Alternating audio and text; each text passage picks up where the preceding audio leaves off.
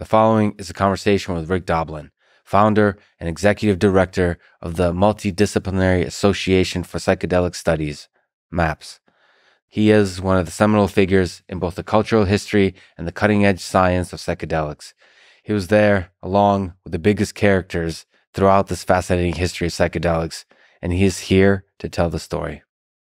Quick mention of our sponsors Theragun, ExpressVPN, Blinkist, and Sleep. Check them out in the description to support this podcast. As a side note, let me say that exploring the places the human mind can go can help us understand where it comes from, how it works, and how to engineer mental journeys, whether that's through life experiences, chemical substances, brain computer interfaces, or interactions with artificial intelligence systems. On a personal level, I think the dissolution of the ego for stretches of time is a powerful tool for understanding yourself. A lot of things can do this, including jujitsu, literature, meditation, but psychedelics is definitely, or at least arguably, one of the most powerful, from psilocybin to DMT.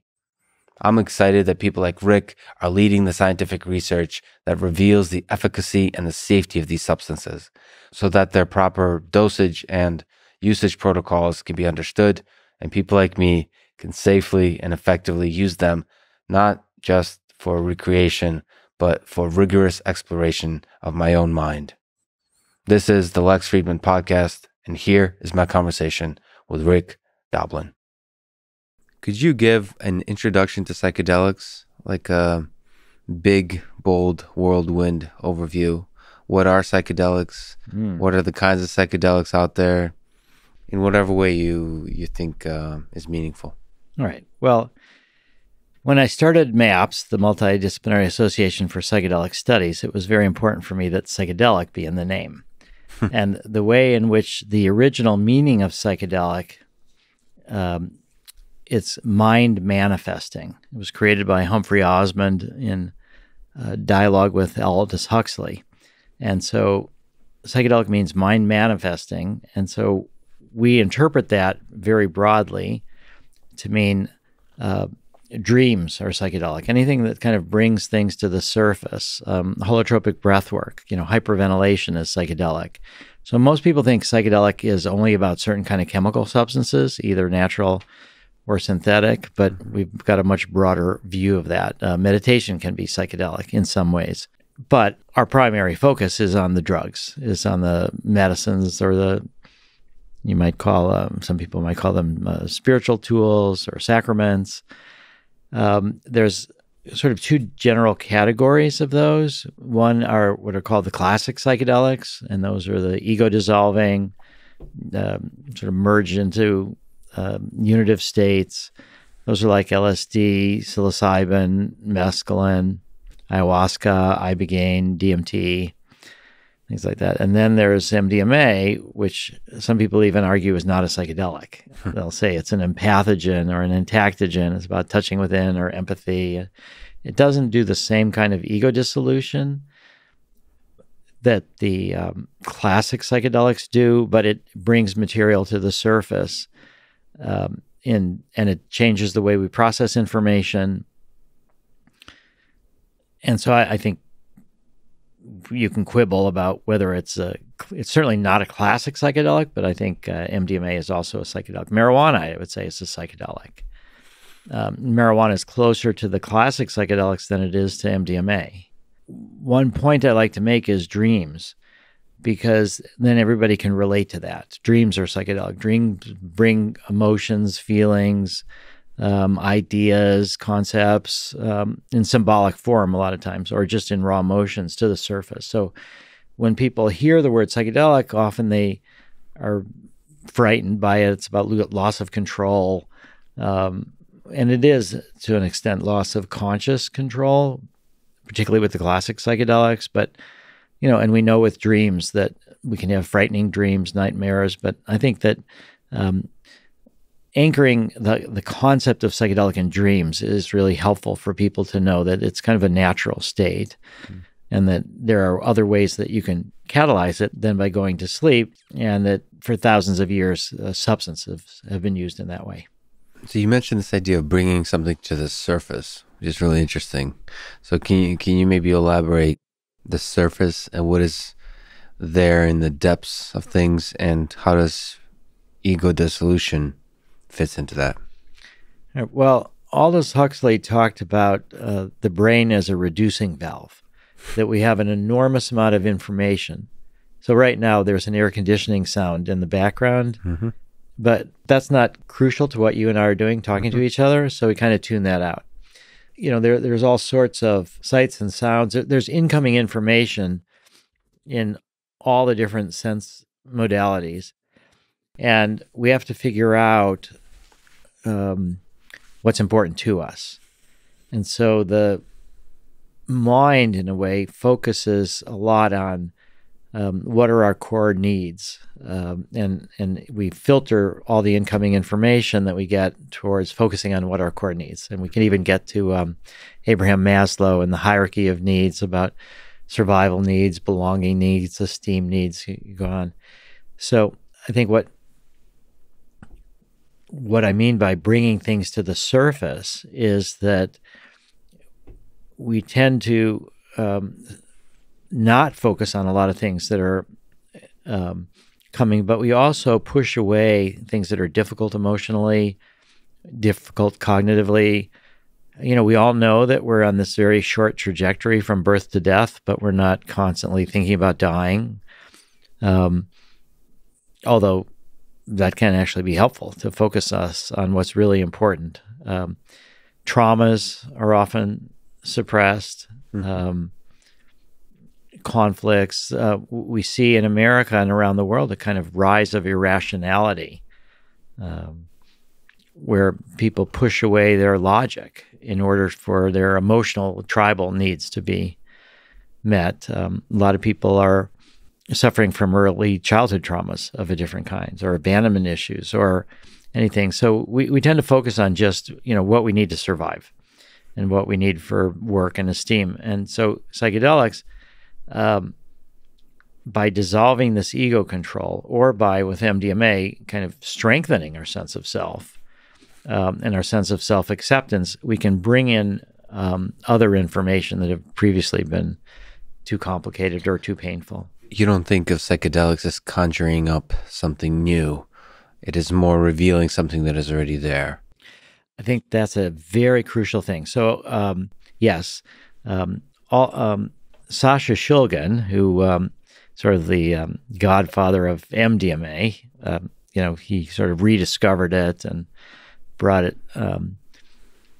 back into use, he talked about his first experience was with mescaline. His first psychedelic experience was with mescaline. And he had a tremendous experience. But what he said about it was he was having a human experience that the mescaline was helping him access rather than that he was having a mescaline experience. So that it's not like you pop a pill and you always have the same kind of experience as everybody else. The, the experience is not contained in the pill. The pill opens you up and you have an experience of yourself. Um, sometimes these are experiences that we've never consciously had, but we can say right now that we know that um, our body, below the level of our conscious awareness, has all these self healing mechanisms, and we we don't modulate them to a large extent by conscious control. I mean, eventually we we are learning more about the mind body, and we learn about the placebo effect, how what we think is the case, but but I, I think that there's experiences that are below our level of conscious awareness, particularly once we're adults, that are more these unitive mystical experiences, sense of connection. You know, I think kids are like this a lot. We kind of come from the void, you could say, and you're born and you, you have um, a different way of processing information. W- one interesting point about that has to do with ketamine, which is, uh, you know, been approved S ketamine for depression, but it's used for anesthesia, and roughly one tenth the anesthetic dose is a psychedelic dose. Hmm. And when it's used in anesthesia, there's what's called the emergent phenomena. So this is you get enough uh, ketamine for um, you can be operated on. You're not in pain. You're not really there. Your ego's knocked out, but you can still breathe. But as the operations uh, get over, and then people metabolize the ketamine, there's a process that they call the emergent phenomena. It's like as you're emerging from this tranquilized state, and that's where you pass through the psychedelic phase. And they don't prepare people for that. And what we see is that a lot of adults have difficult times with that. Hmm. But children don't seem to have that those problems. Children are a little bit more already in this kind of state. And so ketamine is is used um, quite frequently in children now for anesthesia. So all of that is to say to your question that um, I think it these psychedelics reveal things that are within us. Some things that are how we process information back when we were children. Um, other things that we've never thought of before that are sort of baked into our consciousness. Um, you know, there, there's one um, drug, 5-MeO DMT. It's this uh, toxin from a Sonoran toad that many people consider it to be the most powerful of all the psychedelics. And it kind of knocks the ego structures completely out of it. And um, we experience something different, but it's something I think that's always within us. It's at a deeper layer. So we knock out some of the higher mm-hmm. cognitive functions and then we experience things in a different way. So my, my sense is that um, these are human experiences that the psychedelics bring us to. Yeah, it's really profound. But, and that's a, DMT is a really interesting example. So, uh, Terence McKenna has talked about these machine elves, right? and there's this, um, I think, from the people I've heard speak about the experience, there's a sense that you are traveling elsewhere uh, to meet entities, whether they're uh, elves or not. So, in your sense, you're not traveling elsewhere. You're just revealing something that's within, and maybe it's a, a particular mechanism of revealing what's already within.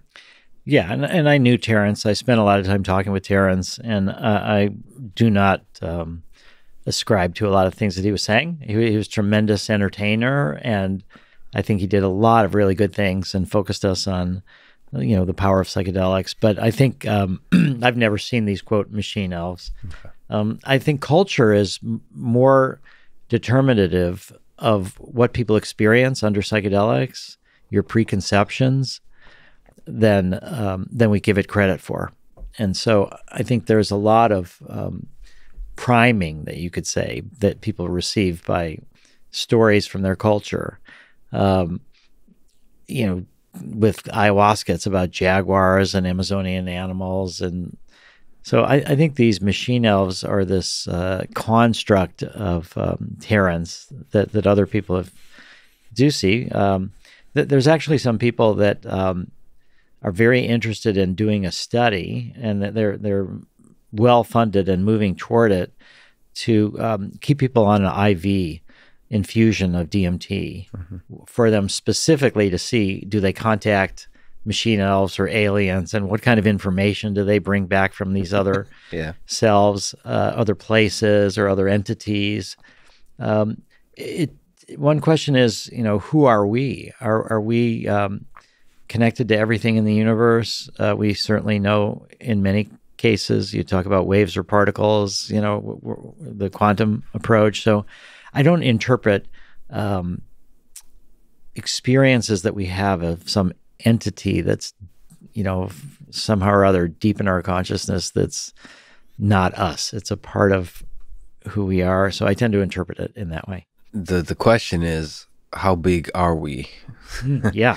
I mean that that's uh and how many ideas are within us that can be revealed by changing the perspective. You mentioned physics. One of the what physicists, especially mathematical physicists or mathematicians do is the they reveal truths by looking at a by taking a slightly different perspective on a problem that reveals the simplicity uh, of how it actually works in totally new ways. That's what Einstein did. That's what like every progress in physics, and certainly every progress in mathematics, requires you to take a different perspective. And then perhaps that's exactly what uh, psychedelics are doing. It's not that they're contacting aliens that are elsewhere. It may be revealing the connection between us and other living life forms, or actually might be revealing a, totally new perspective on what life is or what consciousness is uh, and giving us a glimpse at that, even though our cognitive capabilities are limited in to fully grasp and understand it. So it's just giving us an inkling of that somehow. And it seems perhaps a little ridiculous, not from a scientific perspective, in the sense that we don't have a good physics of life or physics of intelligence or physics of consciousness, but getting a glimpse of that is giving us a little bit of um, maybe an intuition of uh, which way to head to uh, to build such a physics. Yeah, yeah, I think so. I think that there's this um, other concept. I guess I would like to talk about briefly. This uh, Jungian collective unconscious. This idea that somehow or other everything that has ever happened um, is still accessible. Maybe not with as much um, data or as much um, resolution, but that there's you know wave resonances, so that I, I do believe that we can have experiences as part of this human collective unconscious that we're not from our own life. Yeah.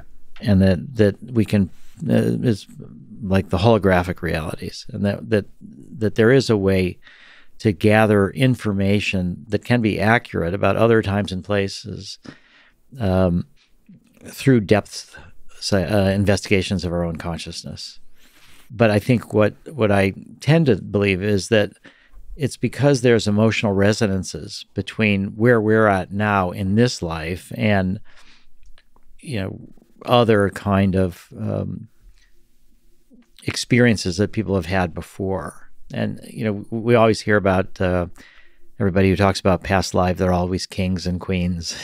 you know, yeah. So I think that's you know that, that's again you filter things what you want to be true. But but I do think that there is a way to access information beyond what we've taken in in our own temporal existence through our own five senses. In some ways, I really find that compelling the notion that that information is already there and you're simply just moving the attention of your mind to different parts of that. I mean, we, we have that with the radio. I mean, you know, you got a frequency, you turn all this information.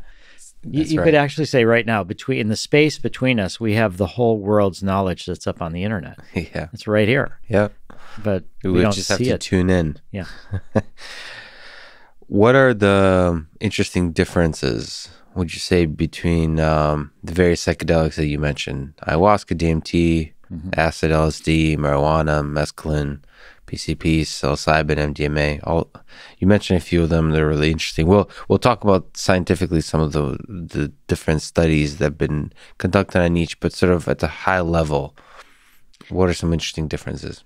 Well, one of the big ones that people make a big deal of that I think is completely misplaced. Hmm is some are from nature, some are from the lab. Right. So there's this kind of like romantic thought that if it's from nature, it's good. If it's from the lab, it's somehow tainted by humanity. Right. And, you know, therefore, some people are, are like all for plant psychedelics. We, we, see the policy changes that have been happening in a couple cities, uh, Cambridge, Somerville, right not far from where we're at now, where they decriminalize plant medicines. So they call it decriminalizing nature. Mm-hmm. Um, so I, I, think that there is, um, from my perspective, certain certain things from nature are poison. Certain things from the lab are um, spiritual, hmm. even if they don't show up in nature, like LSD. Now there is something. LSD is lysergic acid diethylamide. There is lysergic acid amide, LSA, which comes from morning glory seeds. So it's very similar. Um, but at the same time, I'd say I don't buy into that distinction that there's some fundamental preference. One, of the things that Terence McKenna, since we talked about him, he talked about how if it's from nature, it's good. And if it's not, you know, we should be suspect. Um, of course, he had a lot of great LSD experiences. But actually, Terence, in 1984, we were at Esalen with a bunch of other people. This was before the crackdown on MDMA and um, this was some of the underground therapists and the above ground researchers were trying to talk about um, how to protect MDMA from this eventual crackdown. And Terence was like, forget about it. You know, it's from the lab. You know, it's dangerous. We have thousands of years of history, all these other things. And, you know, what do we know about MDMA? And blah blah blah. And I was like, Terence, you're so um, um, unscientific, bullshit. Another Yeah. way to say it is, and and I just said, you know, we need a study of uh, the safety of MDMA. And so then Dick Price, who started um, Esalen, I said, I'll put a thousand. Dick Price, he'd put a thousand. So Terence was actually the catalyst for the first study with MDMA Wow. um, just because he was so frustrating about how plants are okay and you know if it's from the lab it's bad. Yeah. Um, so that's one distinction. Um, the the other distinction is this um, sense of uh, classic psychedelics versus things like MDMA. So to what extent do they uh, dissolve the ego? And you could say to what extent do they cause visions? Uh, the 5-HT2A serotonin receptor subtype. Um, which is responsible for a lot of that, uh, where these drugs are activating. Um, now, mescaline of all the psychedelics, chemically, it's the most similar to MDMA. It's a phenethylamine, which is um, MDMA. So, in the 50s, there was the um, 53, I think it was, the Army Chemical Warfare Service wanted to look at um, drugs for interrogations, mind control, non lethal incapacitants. They did um, a study in um, eight substances. These were now toxicity studies in animals. And on the one side was methamphetamine, on the other was mescaline, and MDMA was in the middle chemically. So, um, mescaline of these psychedelics tends to have the um, a warmth that MDMA has. Um, it's not as ego dissolving quite as some of the others. I mean, it's the main active ingredient in peyote. It's it is very psychedelic, very visual. Um, another distinction with these different drugs is how long they last. And a lot of that has to do with the route of administration. So, for example, um, if you smoke DMT, it takes 10, 15 minutes, and you're within seconds, you're off in another world. Um, similarly, 5-MeO DMT, um, very rapid. Um, when you take DMT in the form of ayahuasca, where it's mixed with um, another substance that makes it so that it's orally active, then it's a couple hours. So um, LSD is uh, 8, 10, 12 hours sometimes. Um, psilocybin is more like five or six hours or four to six hours. Uh, MDMA is similar. Um, it's one reason why in our research we give an initial dose of MDMA and then two hours later we give half the initial amount to extend the plateau because we want it to last longer for people to be in this therapeutic state. Um, so that's another distinction is um, you know how long these drugs last. Another distinction is which of them come from a religious context, have a religion built around them. We have this um, sense that some people are saying that 5-MeO DMT and the Sonoran toad that they have this long history of indigenous use, but they don't. That's all modern. It's made up and it's kind of a new approach. However, there was thousands of years of use of psilocybin mushrooms in religious contexts. Um, from um, 1600 BC to 396 AD, the world's longest mystery ceremonies, the Eleusinian Mysteries, you know, sort of the heart of Greek culture, the heart of Western culture. That was a psychedelic potion called kykeon that seems like it's very much like an LSD like substance. Um, ergot on grain, and, you know, LSD comes from ergot. Um, so I, I think that there are a lot of ways to look at these different substances. Another distinction is, um, you know, which one of them are being researched right now in scientific contexts and which are not. Um, and because of the rise of all these for-profit companies and everybody's looking for what they can patent, what they can claim, the land grab, you know, more and more there are um, companies looking at every different kind of psychedelics. Um, the ones that are most important that are not being researched, um, mescaline, but now there's a company to do mescaline, a Journey Colab. Um, Ibogaine, which is crucial for um, opiate addiction. Um, there's a new company, um, a branch of this company, Atai, that's going to be looking at Ibogaine. So I'd say the rise of the for-profit companies is making it so that um, there's just going to be an enormous amount of investigations into all these different psychedelics. But what we're going to see is the development of new psychedelics that we don't know anything about that have not existed yet, because a lot of these for profit companies are going to want to um, invent and patent and have composition of matter patents on new molecules.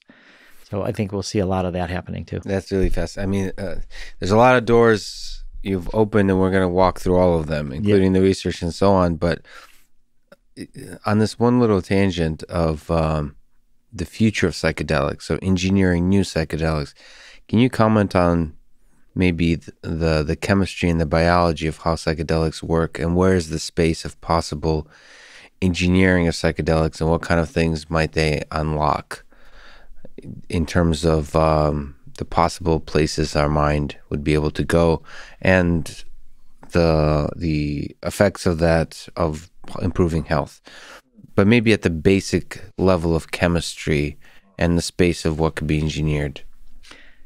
Well, you you reminded me. It's not.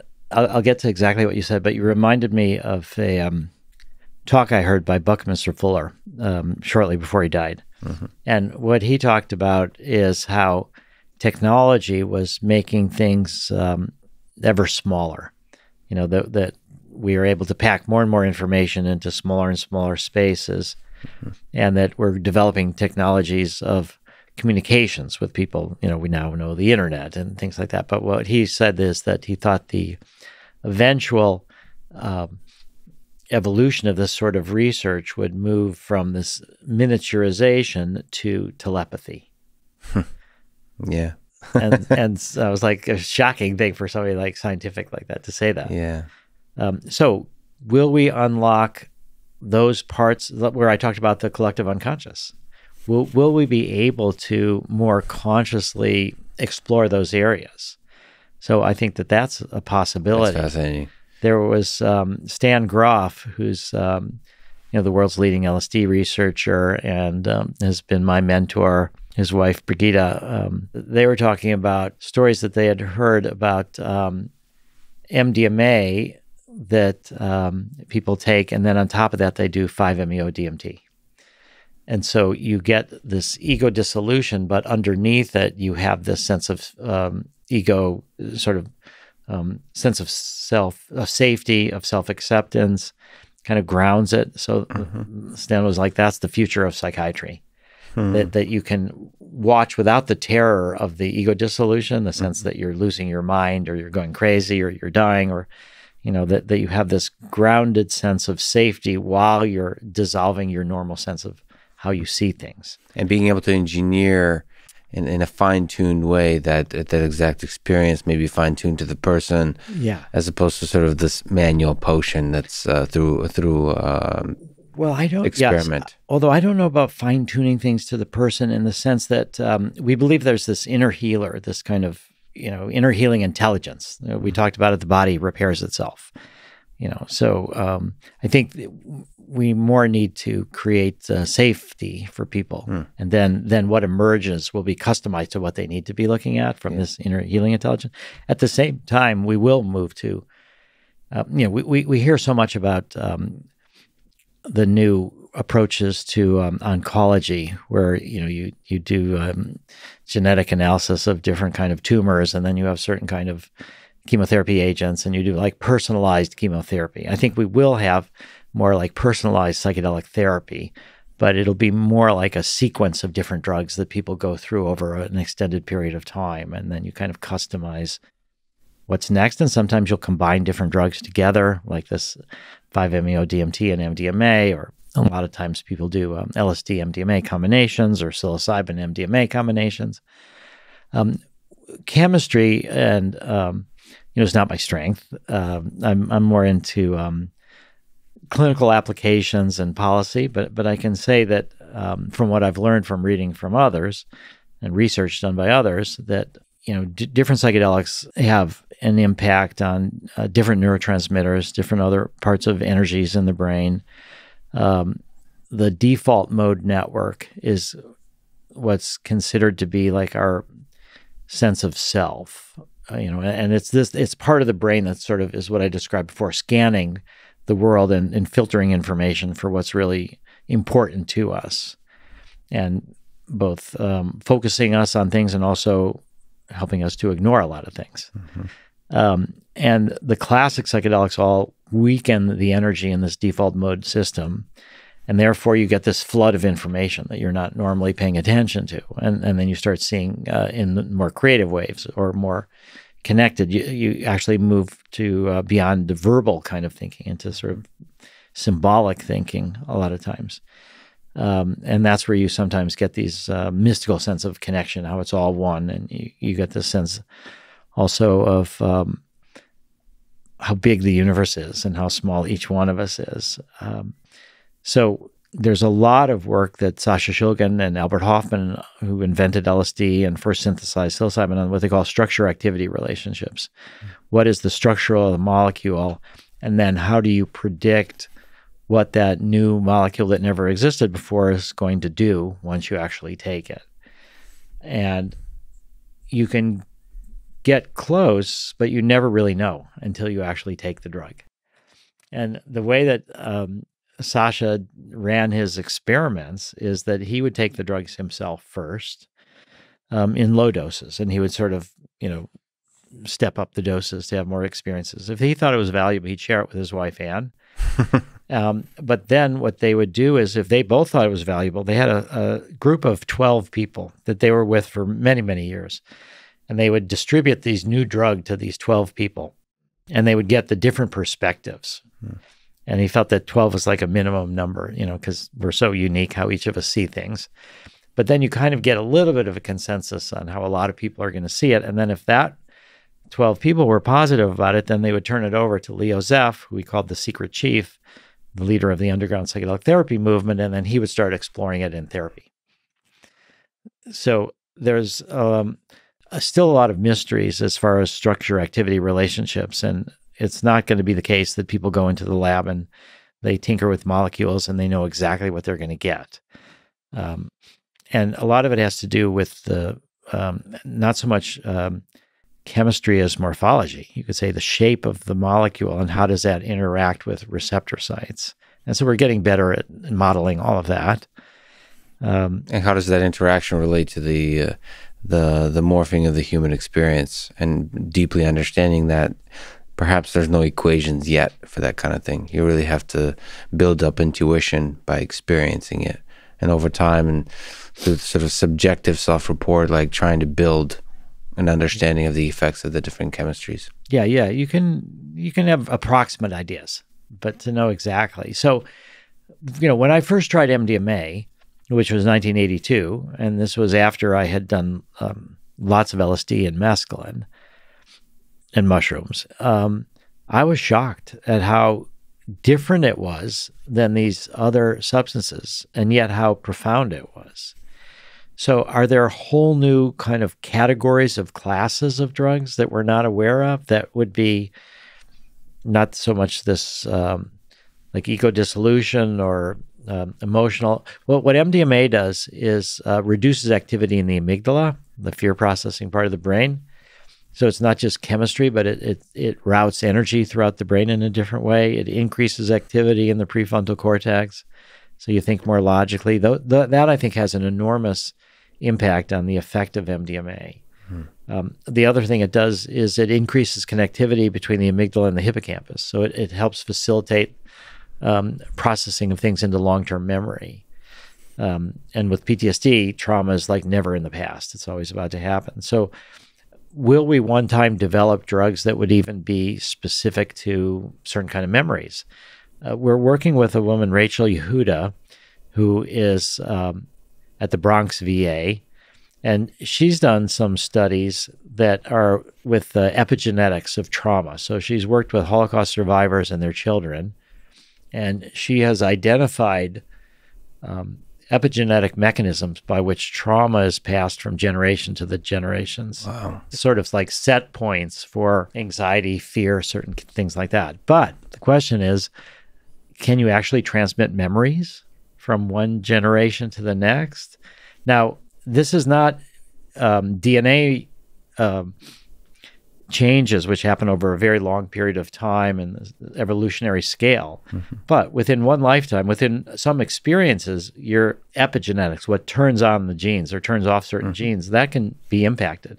And that's what we know now can be transmitted from generation to generation, either by the father or the mother through the sperm or the egg. So it's it's pretty um, remarkable. So what what Rachel's going to try to do is MDMA research for PTSD, and look at these epigenetic markers before and after, and see if they change as mm-hmm. a consequence of therapy. So will we develop one day certain kind of chemicals that will be able to bring certain kind of memories to the surface? Um, th- that's not inconceivable.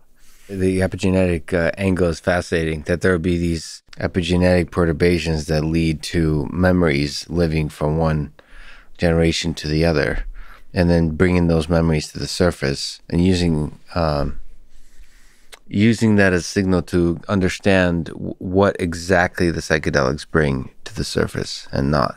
Yeah.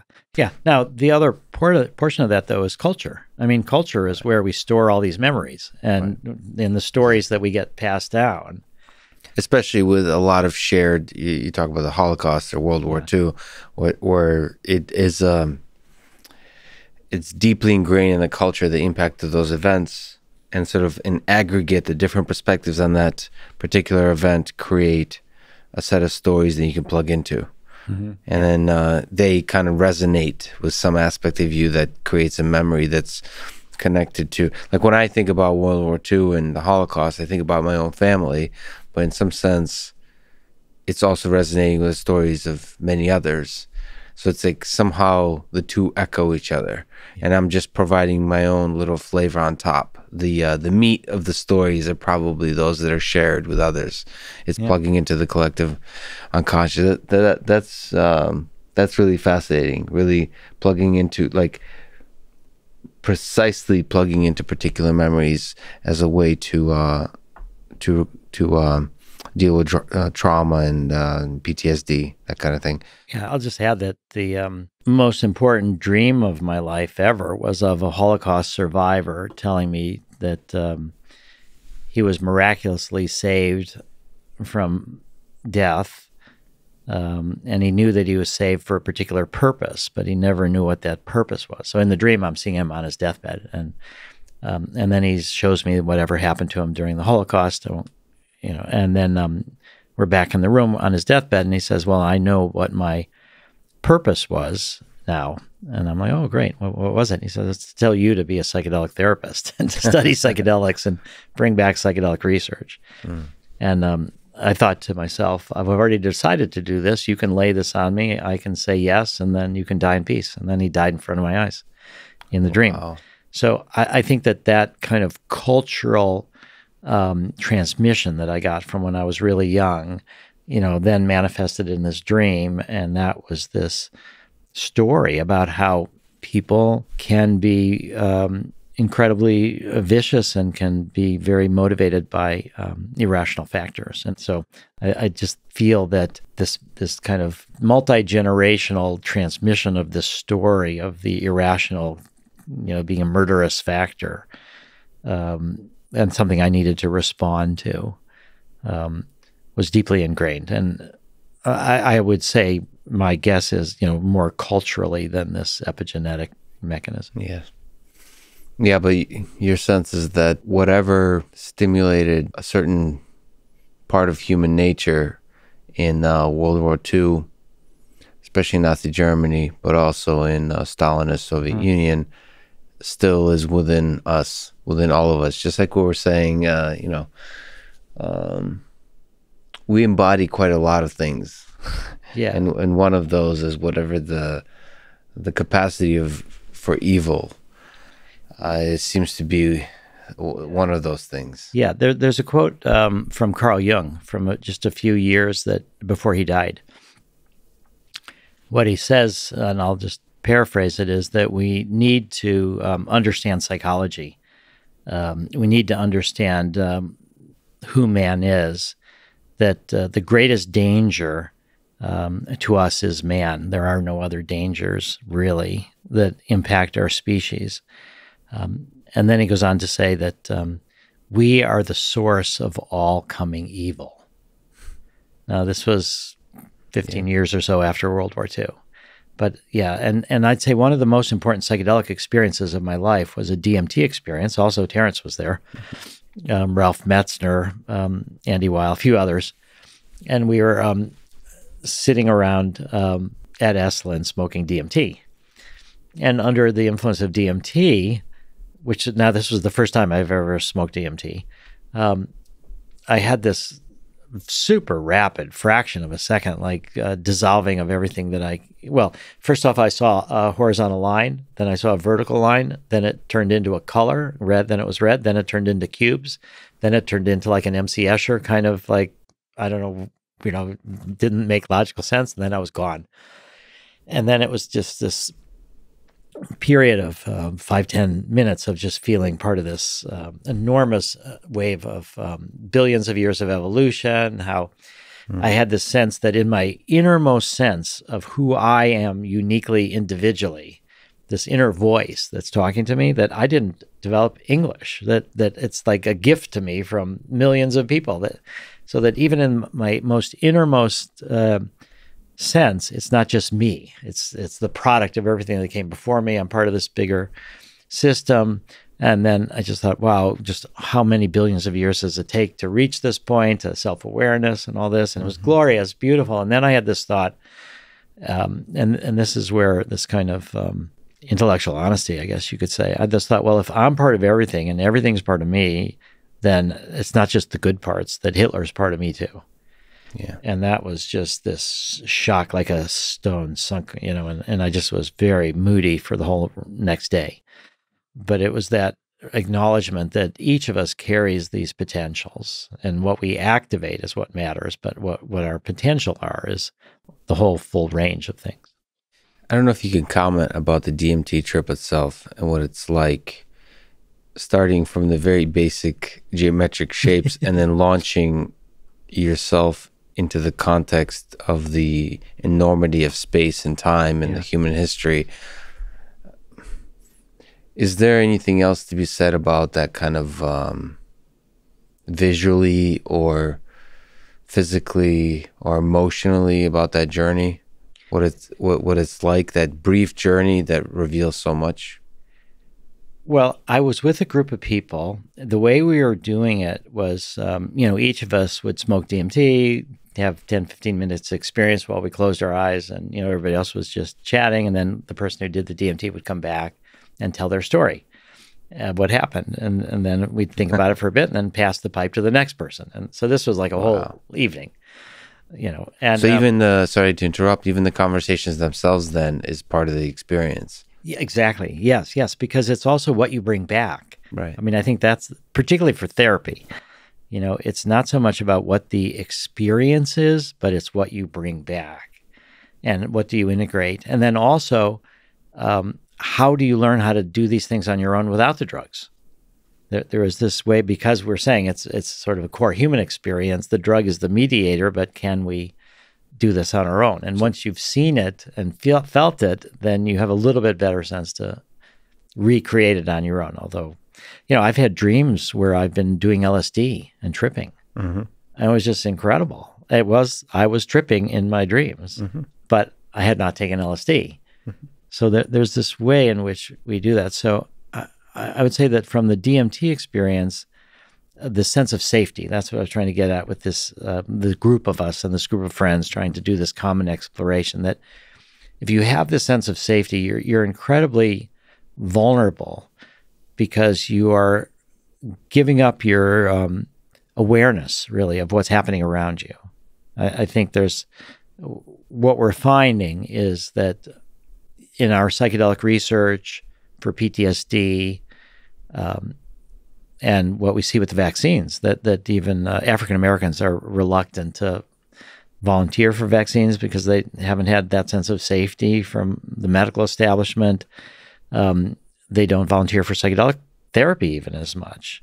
So the overlay has to be this sense of safety as you become vulnerable and looking inside. You're you're not. Um, I, I, was just actually told about how um, there's a lot of work being done inside prisons to teach mindfulness, mm-hmm. and you know, so one, one of the um, Charlene, who's my assistant, is, is trying to do work on um, helping people in prison you know, with trauma, potentially one day with MDMA or meditation or mindfulness. But one of the exercises was, you know, teaching people to, okay, here's how you deal with stress. You know, just close your eyes and deep breathe. And what, what Charlene was saying is people don't close their eyes in prison. You know, you, you yeah. don't feel safe to do that. So um, all, all that is just to say is that um, the context is the most important factor. So while I'll talk about the DMT experience, the, the context was this supportive sense of safety that I could be completely vulnerable and out of any kind of um, control. Women, I think, you know, often are less safe in this way than men because of all the sexual assaults.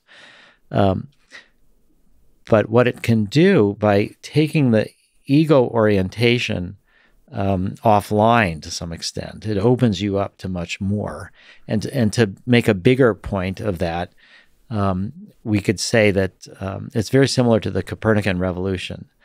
And mm-hmm. you know, people thought that the Earth was the center of the universe, and you know, the the Inquisition murdered people that questioned that uh, Father Bruno burned at the stake. Actually, one of the things he said, uh, I think that's worth um, all these years later um, saying, is that when the Inquisition um, sentenced him to burn at the stake for espousing this idea that the earth was not really the center of the universe, um, he said to the Inquisition, he said, um, Your fear in sentencing me is greater than my fear in being sentenced that their worldview was so rigid yeah. that they had to wipe out anybody that would question it. And and so this idea of psychedelics displacing our ego as the center of the universe and to realize that we are just rotating around something much bigger than our individual life. You know, our, our ego is is designed almost to protect this body while we're alive. And you can understand all the good reasons why that is but it also disconnects us from this bigger reality. And so the psychedelics, DMT, by knocking this sort of ego orientation or the default mode network uh, offline, you open up to the, the bigger sweeps of history. So, in that uh, place of safety and vulnerability, in that fascinating group of people, when their ego was dissolved in this way, did they have similar experiences? Is there different places that their minds went? Yeah. So, you know, once I had this kind of shattering experience that Hitler's part of me. Yes. You know, no one else in the group had that. Probably a lot of them have maybe had that before, or they, they realize that they're not just, you know, the good, the white hat, good people and that yes. they're all good and they're, you know, we've got to fight against the bad people. Mm-hmm. You know, so no, people will go in different places. And not only that, if you do it again, you'll go into a different place than you went to the first time. Unless you have not resolved the issue. So I had a sequence of LSD trips that were very difficult, but it was like coming to the same sort of conundrum, the same challenge um, that I was unable to overcome. This idea of letting go and really fully dissolving, um, letting the ego fully go, and and I would have this sequence of trips over a couple months where I would reach this point where I was too scared to move forward, and I would just be holding on. Mm-hmm. Um, so there, there are there are repeated themes sometimes. What Stan Grof has said, which I find very beautiful, is that the full expression of an emotion is the funeral pyre of that emotion. And what, what that means is if you can fully let in something, then the essence of um, of life has changed. Is that it moves on, that everything's in motion. Um, and if you can fully experience it, even if it's a sense that you're going to be trapped in eternity in this hellish state, if you surrender to that, that's the way out. You know, this full experience of something is this um, funeral pyre of that emotion. And so that runs against a lot of what modern psychiatry is doing too, which is to suppress symptoms and to and to instead of supporting people to kind of explore these insecurities mm-hmm. so that then they can contain them and then they can move on. So yeah, resistance is not uh, a way to make progress. Right, right. Um, although, in one of the reasons why we do the supplemental dose during the MDMA, or why there's advantages in a 10 hour LSD experience, is that you have a lot of opportunities to come up against this resistance it may be too difficult to deal with and then you kind of push it aside and then a couple hours later you come back to it or you come back to it. Press snooze every once in a while if you're not ready. it's hard to do that. I think th- with mdma you can negotiate. Hmm. That's i think a, a part of its safety in a sense. You can have this like oh i should be talking about this but i or i'm feeling this but it's too much for me now. You can push it away. But with the classic psychedelics this kind of membrane between the conscious and the unconscious that um, once you take the drug and it weakens this membrane and things are coming up, um, it's very difficult to negotiate with it. The the the key to successful uh, classic psychedelic trips is surrender. You've talked about that you first began to reconsider the negative health myths around psychedelics when you learned that the book One Flew Over the Cuckoo's Nest Yeah. was written by Ken Kesey when he was in part under the influence of LSD. So, how do you think LSD helped him, Ken Kesey, in writing uh, that incredible book? Yeah. Um, there's a, a process that's called semantic priming. And so what, what that means is that I, I say um, night, you say day. You know, th- there, there's kind of normal patterns of kind of you say one word, what kind of words come to you next. And so they've done some research. They, meaning scientists, have done some research where you pe- give people um, a psychedelic, and then you do this semantic priming. And what you find is they have a wider range of associations than they normally would when they're not under psychedelics. So I think for Ken Kesey, um, he was able with psychedelics to get like um, a deeper kind of emotional connection to some of these states of mind that people were in the inst- this mental institution, and that he could explore them more in depth and more eloquently. And and and also one one of the things he talked about was the fog machine was you know how um, people's minds were sort of clouded by the people that ran the institution and this the fog machine would be coming in. So i think the um, imagery and the metaphors that he used a lot in the book could come to him during lsd experiences. And and then now he wasn't doing um, you know very when you're writing, you have to be literate. Uh, you have to be able to write. You know, so it would be more like beginning and ends of LSD trips instead of at the peak. But I think you would get a lot of these, um, the feeling tones or the images, the metaphors. I think he would get um, these extend. Also, LSD lasts so long. You can get these extended focus, and you can really uh, elaborate on um, images and um, so much of psychedelic experiences are poetic and metaphorical. I mean, you, you can take, um, you know, veterans who've never um, read a book of poetry in their lives, you know, and under the influence of MDMA, just the, what they describe, the imagery and the way they describe their experience is metaphorical, poetic. It's incredible. Um, and so I, I think that um, Ken Kesey was able to to channel these what LSD did to his mind in a way that most people couldn't do, but he did because he was trying to write this novel and because he was so brilliant. Yeah, the I mean, we'll we'll talk about psychedelics and treating in uh, bringing some of trauma to the surface and dealing with all those kinds of things, but there's something also to the, the opening up of creativity for whether it's for writing purposes or for, for in my w- world for engineering for invention. Innovation and invention itself is a very is a deeply creative process. And it's fascinating to think with the aid of psychedelics what kind of ideas can be brought to life Yeah, well, we have the whole phenomena of a lot of the people in Silicon Valley and else microdosing psychedelics in order to have a little touch more of this creative approach to things. i would love it to see if it was um, that's more like Terence McKenna territory correct me if i'm wrong but i would love to sort of more scientific to where there would be the rigor of saying how to do it effectively you know how to sort of understand sort of um, not just almost um, you know to take the full journey of uh, creative exploration and to do it for pro- prolonged periods of time, you know, um, for years, you know, lifelong kind of part of your life of how it, it, empowers creativity.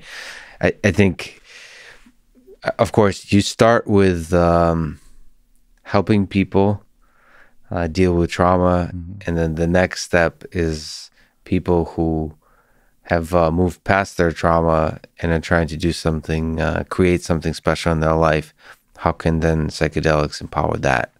Yeah. Now, that also, just to not shy away from anything controversial, yes, um, that has to, that gets us to this um, idea of psychedelics for vision quest, particularly for younger people. Mm. You know, when you're sort of moving into this adulting kind of phase, and you have to figure out what are you going to do with your life.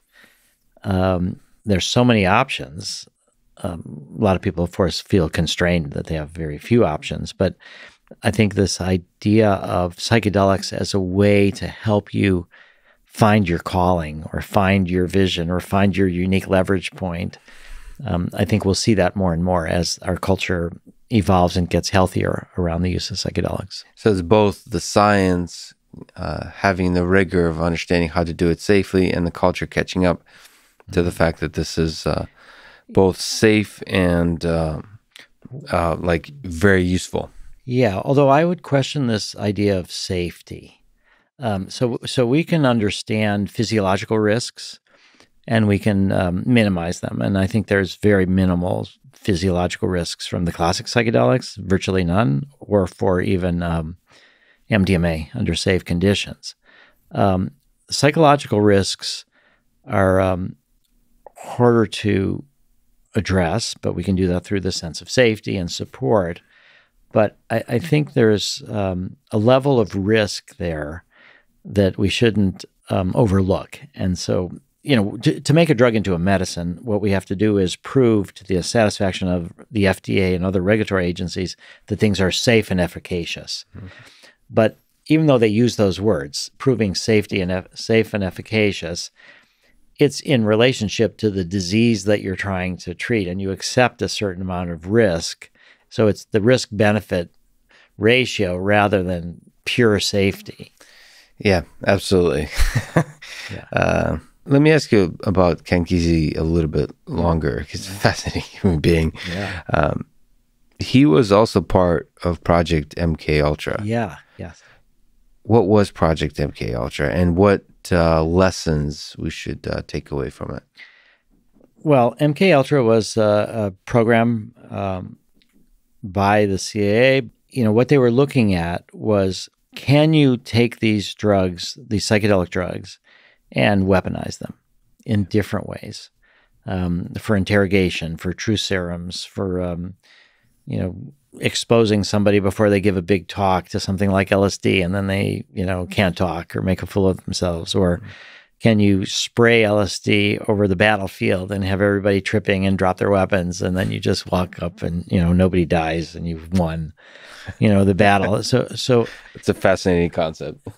yeah. They call it non lethal incapacitants. And yeah. I think that's how, uh, one way to win a war is uh, to enforce peace to, to, get everybody not caring about the war. But yeah. yes. Well, I, I, think Gandhi said something even better, which is that the true way to win a war is to turn your enemy into your friend. Yes, that's a beautiful way to put it. Yeah. Um, but MK, MK Ultra was really nefarious, and it was part of our military, and it was done in secret, and um, they would um, dose people against their will. I mean, one of the most infamous things. Uh, uh, was that they had a house of prostitution in uh, San Francisco, and they would um, have one way mirrors and all this stuff. And then they would just uh, dose people with LSD. Uh, you know, they would have the prostitutes dose these guys with, with LSD and, and observe what they would do and how they would act. And um, the CIA actually, for a while, was dosing each other secretly.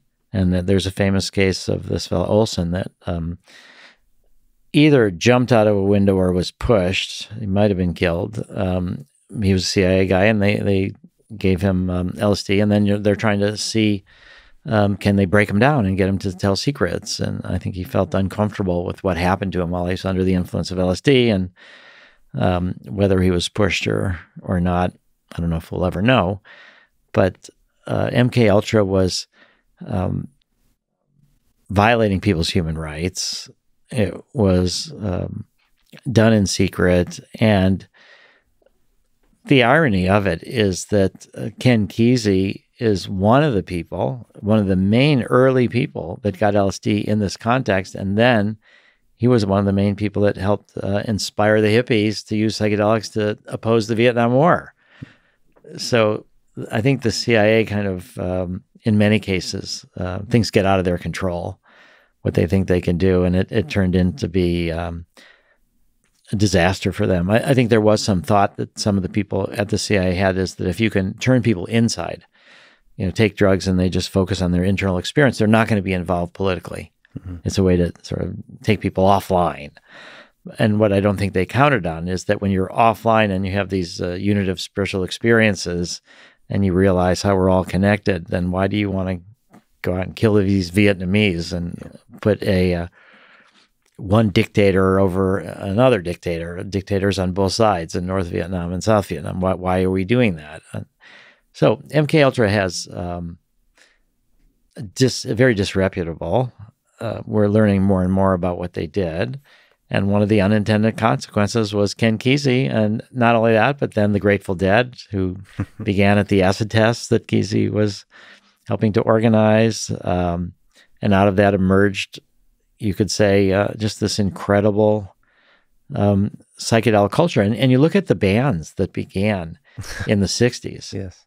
And which ones have really survived to the this day? Mm-hmm and um, you know, the Grateful Dead has survived longer than most any other band. I mean, some of them have died and all, but but it was like the tightness, the the sort of telepathy we talked about before that they could just get so tuned in to each other and each other's energies, and they could do improvisations and they could do this incredible work that I think the the the sustainability of the Grateful Dead as a group was a testament testament to the power of the LSD experiences, and that might have never happened if not for MK Ultra. But uh, can we talk about uh, d- darkness a little bit? So yeah, yeah. Ted Kaczynski, the Unabomber, was allegedly part of the MK Ultra studies while at Harvard. Uh, do you think this is true? Do you think it had an impact on him psychologically, intellectually, I, and so I, on? I do think it's true, and I do think I, it had an impact. So um, we talked before about are these drugs somehow or other um, producing a certain kind of drug experience, or do they bring out what's within? Mm-hmm. So we have this experience. Yeah, on the one hand, Ken Kesey, and he sort of took positive things out of this. Um, on the other hand, um, you know, we can um, get this uh, opposition to the modern world, to technology, and to the point of uh, creating bombs to try to go after it. So that the experience is not in the drug. It's this interaction between um, the drug, the person, the context. And so we can heal people with um, psychedelics, or people can be driven crazy with psychedelics. Um, it, it depends again on the context. And so I think it's both these things can be true. And I think it was really good that you kind of highlighted this that there mm-hmm. this um, polarities and that it's not in the drug it's in the the other factors and it's who they were beforehand and then how you use that experience so all that's to say is if we put LSD in the water and everybody were going to get it it doesn't mean that all of a sudden everybody's going to have a mystical experience and then mm-hmm. that's you know all we need to do and humanity is spiritualized and or end war and all of this. It's it's not about the drug. And th- that actually is why for me um, we've also talked about um, engineering new psychedelics and all the people that are going to be trying for profit companies to develop and patent new psychedelics. For me, the most important challenge is new cultural contexts that can create legality, safety, support for the existing psychedelics that we already have. Mm-hmm. I mean, we have so much incredible tools in these existing psychedelics that it's more about creating context for them to be used in safe medical or personal growth or recreational, even with harm reduction, all these different ways. That's more important to me than finding some new molecule that's somewhat similar or somewhat different, but you know it can be patented. So it's the social context. So I, I do believe that uh, Ted Kaczynski was part of MK Ultra, and I think it affected him in a negative way. And that's a cautionary tale that it's not in the drug; it's in the context. The context, the person. Still, it feels like um, if viewed from a therapy perspective, perhaps there was a way to use psychedelics to help Ted Kaczynski find a path out of the darkness. I, I think so. And I think that um, this is where I think MDMA comes in, in, in a way that MDMA is, um, you know, he felt very isolated and very much um, out of society in some ways.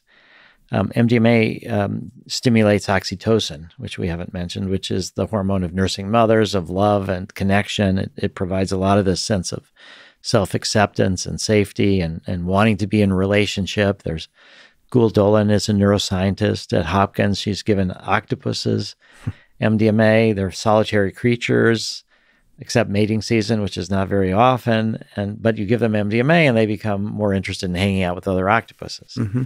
So I think this um, for people that have had difficult psychedelic experiences, um, MDMA helps them integrate them. We've worked with people that had uh, a difficult LSD experience 40 years before mm-hmm. and are still able to get back to that under the influence of MDMA and work out some of the conflicts that they weren't able to resolve all those decades before. So I think that psychedelics could have been helpful in a different context for Ted Kaczynski. But the other big part of it is that people have to be willing to cooperate with the experience. We yes. talked about resistance. So people can resist these things. It's uh, you know the saying is you can drink bring bring a horse to water, but you can't make him drink. Yeah. This is about how people have to be willing to go to these spaces. Mm-hmm. So one of the essence of our therapeutic approach is that we help people to heal themselves. That we are not giving them the healing. It's it's it's a flip on the power dynamics that existed. Um, you would say in the 50s and 60s, my dad was a doctor and the doctors were gods, and you know mm-hmm. whatever they said was right. And you know we we no longer, of course, believe that. But um, for a while, psychoanalysis with Freud, you know, mm-hmm. that they gave the interpretation to the patient. The patient couldn't help themselves, but they would do the free associations, and the mm-hmm. psychoanalyst would see these conflicts and would would be the one that does the healing, would give this interpretation, and that right. would open things up. So I, I, think it's this idea of empowering people to heal themselves. And so, if Ted Kaczynski had been in a therapeutic setting with psychedelics, and if they'd had something like MDMA available, or MDA, which was popular during the 60s, which is a more like MDMA LSD combination, um, the outcomes might have been different. Let's take a step into the world of studies. Timothy Leary. Mm who was he, and uh, what were the most important ideas you've learned from him? Well, I, I did have the um, opportunity to get to know him personally and to spend some time with him. Uh, Timothy Leary, um, well, let's start with Nixon saying he's the most dangerous man in America. That's a good place to start. yes. Yeah. And, and why did Nixon say that? It's because of this uh, tune in, you know, turn turn on, tune in, drop out. Mm-hmm. Um, Timothy Leary was just an incredible advocate for um, think for yourself, question authority. Those are things he said all the time. Think for yourself, question authority. He was a rebel. Um, he was kicked out of West Point. Um, he was a psychologist who um, was at Harvard for three years, from 60 to 63. Um, before he got to Harvard, he had an experience with uh, mushrooms um, in Mexico. And that he said he learned more in that experience than he'd had in his entire academic career before then about how the human mind works. Mm-hmm. And so he came to Harvard wanting to do um, research into psychedelics. Um, and he did some very important studies both of which, uh, well, one was called the Good Friday experiment, which was whether psychedelics in religiously inclined people taking psilocybin in a religious setting, whether it could produce a mystical experience. That took place at Marsh Chapel at the Boston University. Because it's a little bit subjective, or you could say entirely subjective, what people describe happens to them. um, he wanted to do another study, which would be a more objective measure, and that was called the Concord Prison Experiment. And that was the thought: if you can give people um, psilocybin mystical sense of connection type experiences while they're in prison, when they get out, they'll be more pro-social and they'll have reduced recidivism. Mm-hmm. Um, so Tim did that. He also did uh, naturalistic studies of giving loads of people psilocybin and sort of writing down what their experiences were, the range of experiences.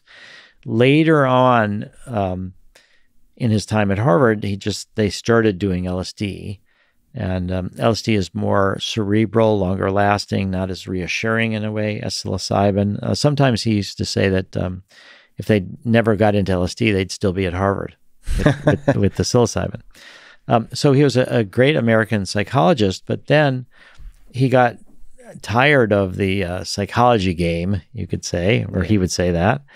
He got more and more interested in um, cultural change, mm-hmm.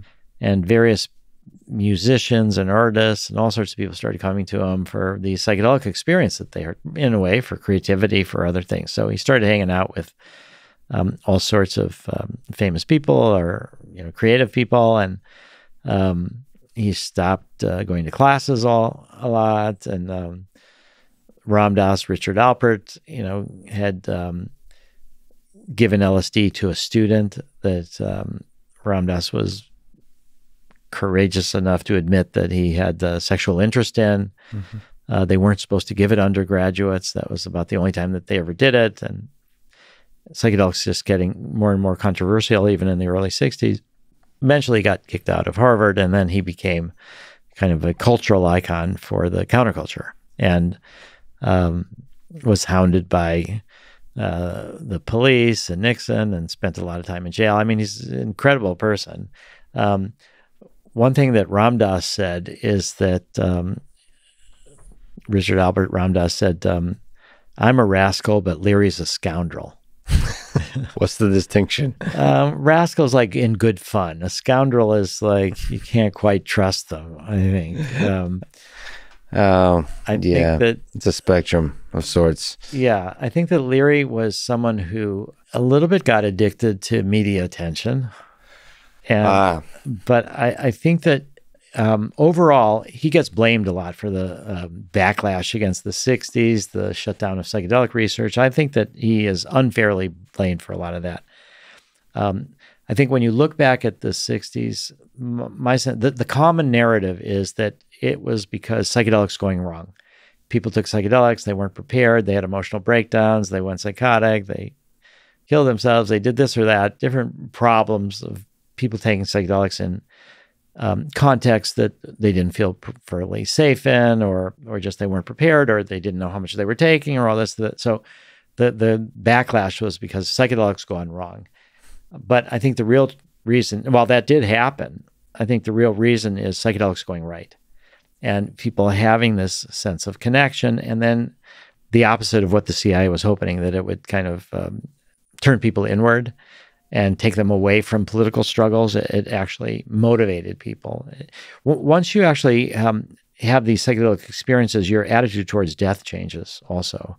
This idea of um, death becoming an intrinsic part of life, it's a natural cycle. It's not so much. So I think people realize that you know, while there's this uh, billions of years of evolution, you know, infinity, whatever that means in terms of time, that we're here for a very limited time, and they end up wanting to use their time well. They have a lessened fear of death, and they want to build uh, this paradise on earth here now instead of later. Mm. So a, a lot of people really did get motivated to challenge the Vietnam War, to work on the environmental movement, civil rights movement, women's rights movement, anti-militarism.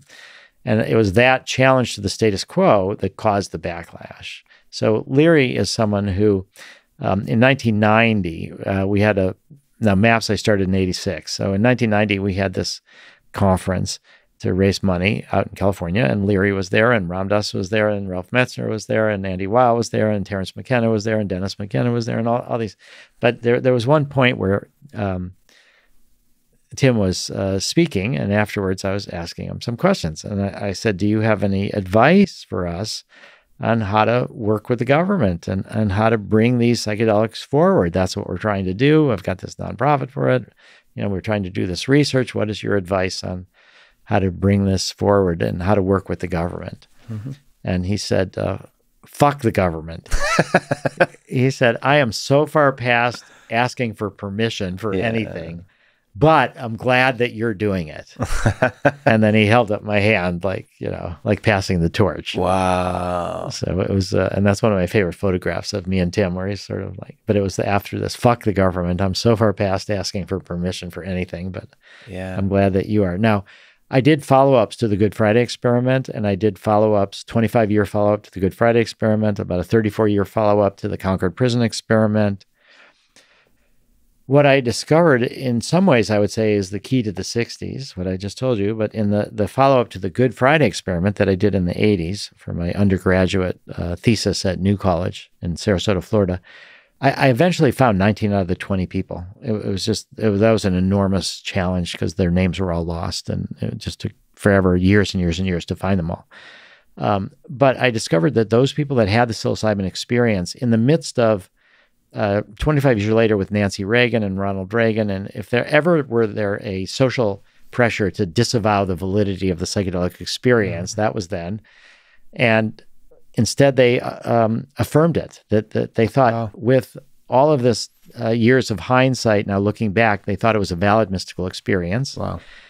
But I discovered that uh, one of the persons who had the psilocybin um, had this experience during the Good Friday service that um, Reverend Howard Thurman was the minister. He was Martin Luther King's mentor, mm-hmm. and Reverend Howard Thurman was the minister at Boston Marsh, at Marsh Chapel.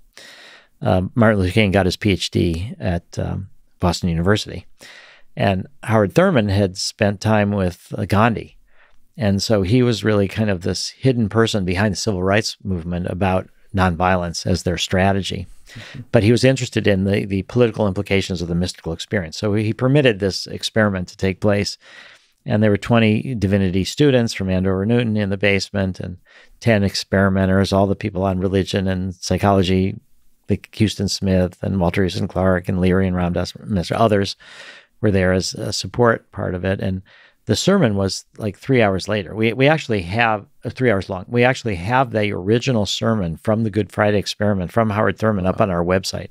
Mm-hmm. It's incredible. But part of it was tell people there's a man on the cross. And this one person uh, um, sort of heard that and he thought, okay, I, I got to do that. I got to tell. Howard Thurman was such a dynamic speaker. He said, I got to tell people there's a man on the cross. Mm-hmm. And so he said, What am I doing here in this basement chapel?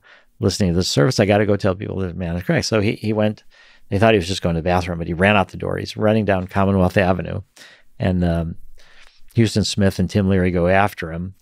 And um, he, he had thought that since he should tell somebody, he should tell the president.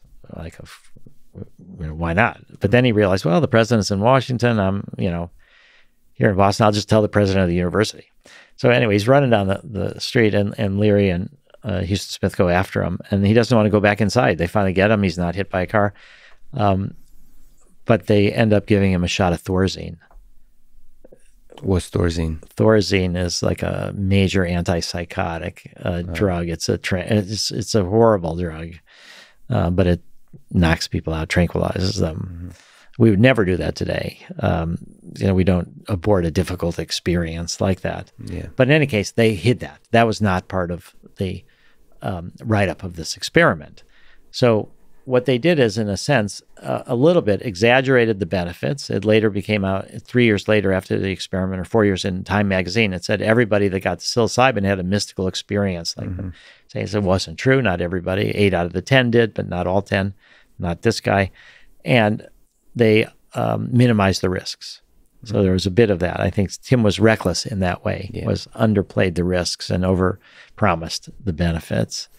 And then the Concord prison experiment, um, it turned out that um, Tim had fudged the data completely and it wow. wasn't really successful. So I, I, fault him for that. The, the, outside world was doing the opposite. It was exaggerating the risks and right. blocking research. So he felt justified to fudge the data. Yeah. Because the outside world was fudging in a sense the uh, the response to the yeah yeah exactly yeah so so that that, that presents a very nice context um, fuck the government, but I'm I'm glad that somebody uh, is is fighting the good fight from within and doing it the right way, which is where you are.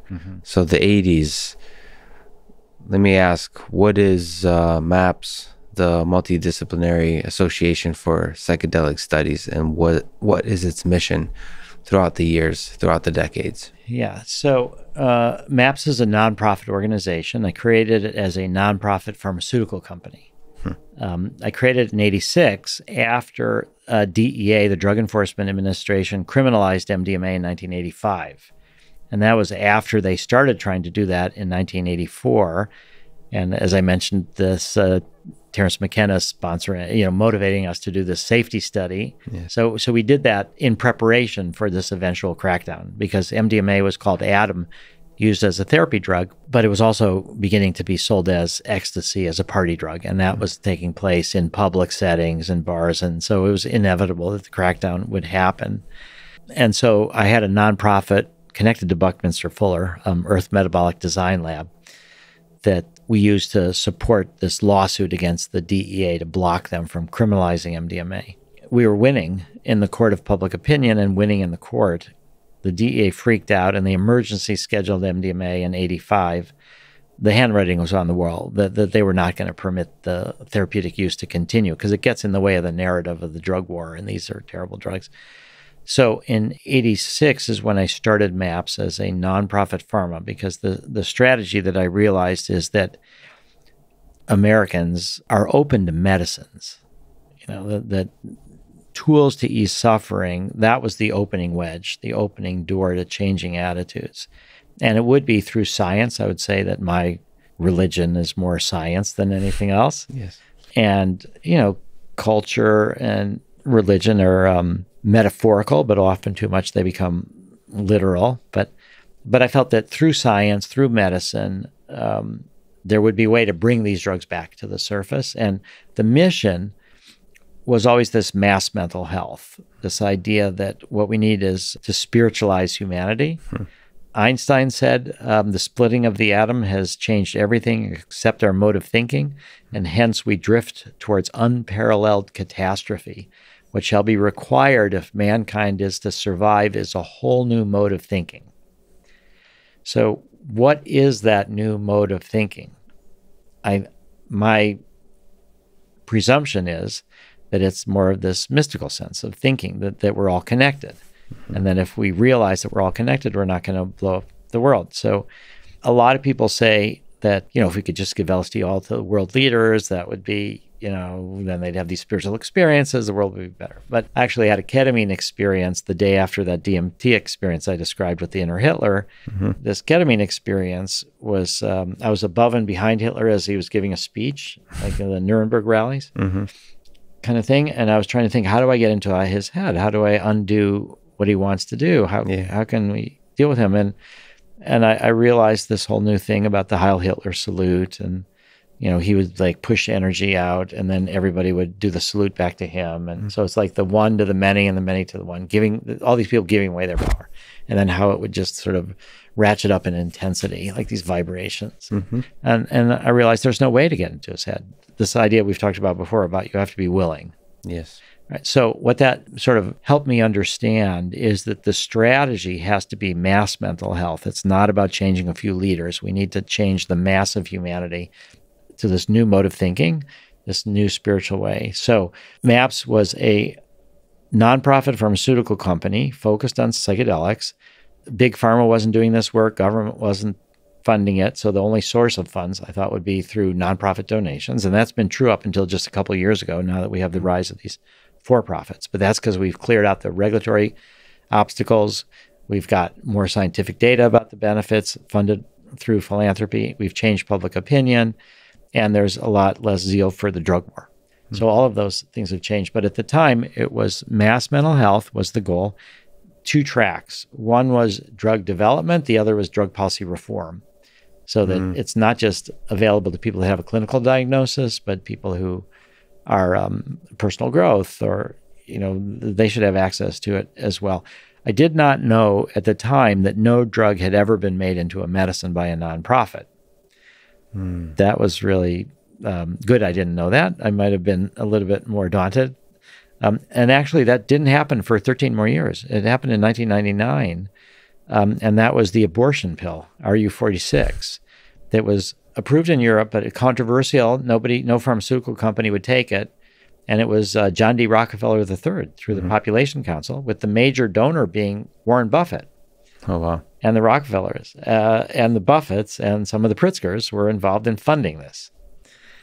So that was the first nonprofit. But but the the MAPS was designed as um, from the very beginning not academic research into psychedelics, but drug development. And that's a fundamental distinction. And that's why I think we're years ahead now of everybody else in terms of making a psychedelic assisted therapy into a medicine.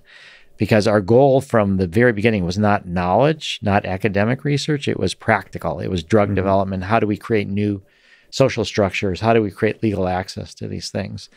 Now, in December of 2014, we created the MAPS Public Benefit Corporation.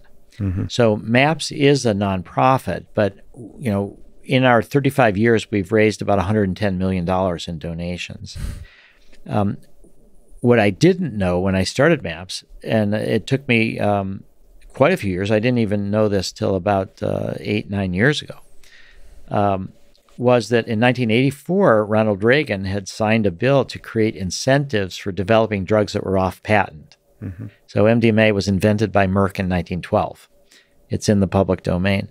These incentives are called data exclusivity, which means that if you make a drug into a medicine that does no patent protection, nobody can use your data for a period of time mm-hmm. to market a generic. And that will effectively be well, it's five years. You do pediatric studies, you get six months extension, and, and we are being required, if we succeed in adults, to work with adolescents with PTSD. It blocks a generic competitor from applying for, for till that five and a half years is over. It takes FDA at least six months to review. So more or less six years of data exclusivity.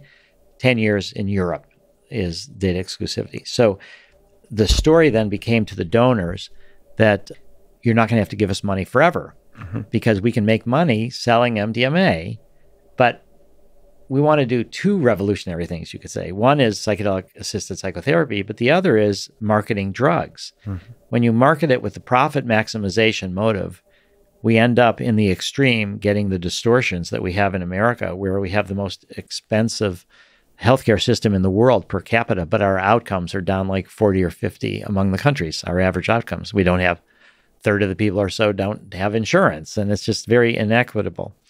So what we're trying to do is show a different way to market drugs, and it's a modification of capitalism. It's called the benefit corporation, mm-hmm. where you maximize public benefit, not profit. You still make a profit. Mm-hmm. So selling MDMA for a profit is not something we could keep inside the nonprofit because it's taxable. It's it's a business. So we created the MAPS Public Benefit Corporation, which is 100% owned by the nonprofit. So we have a nonprofit that owns a pharma company. Mm-hmm. And and the mission of that pharma company is to maximize not profit but maximize benefit for society. Yeah, yeah. Although there still will be profits, and the profits that we're going to make are going to be used towards the mission of MAPS, which is again is this mass mental health and ending the drug war, and and in fact we've hired the Boston Consulting Group to help us plot our um, commercialization strategy. Mm-hmm. And so there is some suggestions based, uh, there's so many different assumptions in this the number of therapists that we train, the, the price that we set for the MDMA, whether insurance companies will cover it. But there's the possibility of somewhere in the range of three quarters of a billion dollars in profits wow.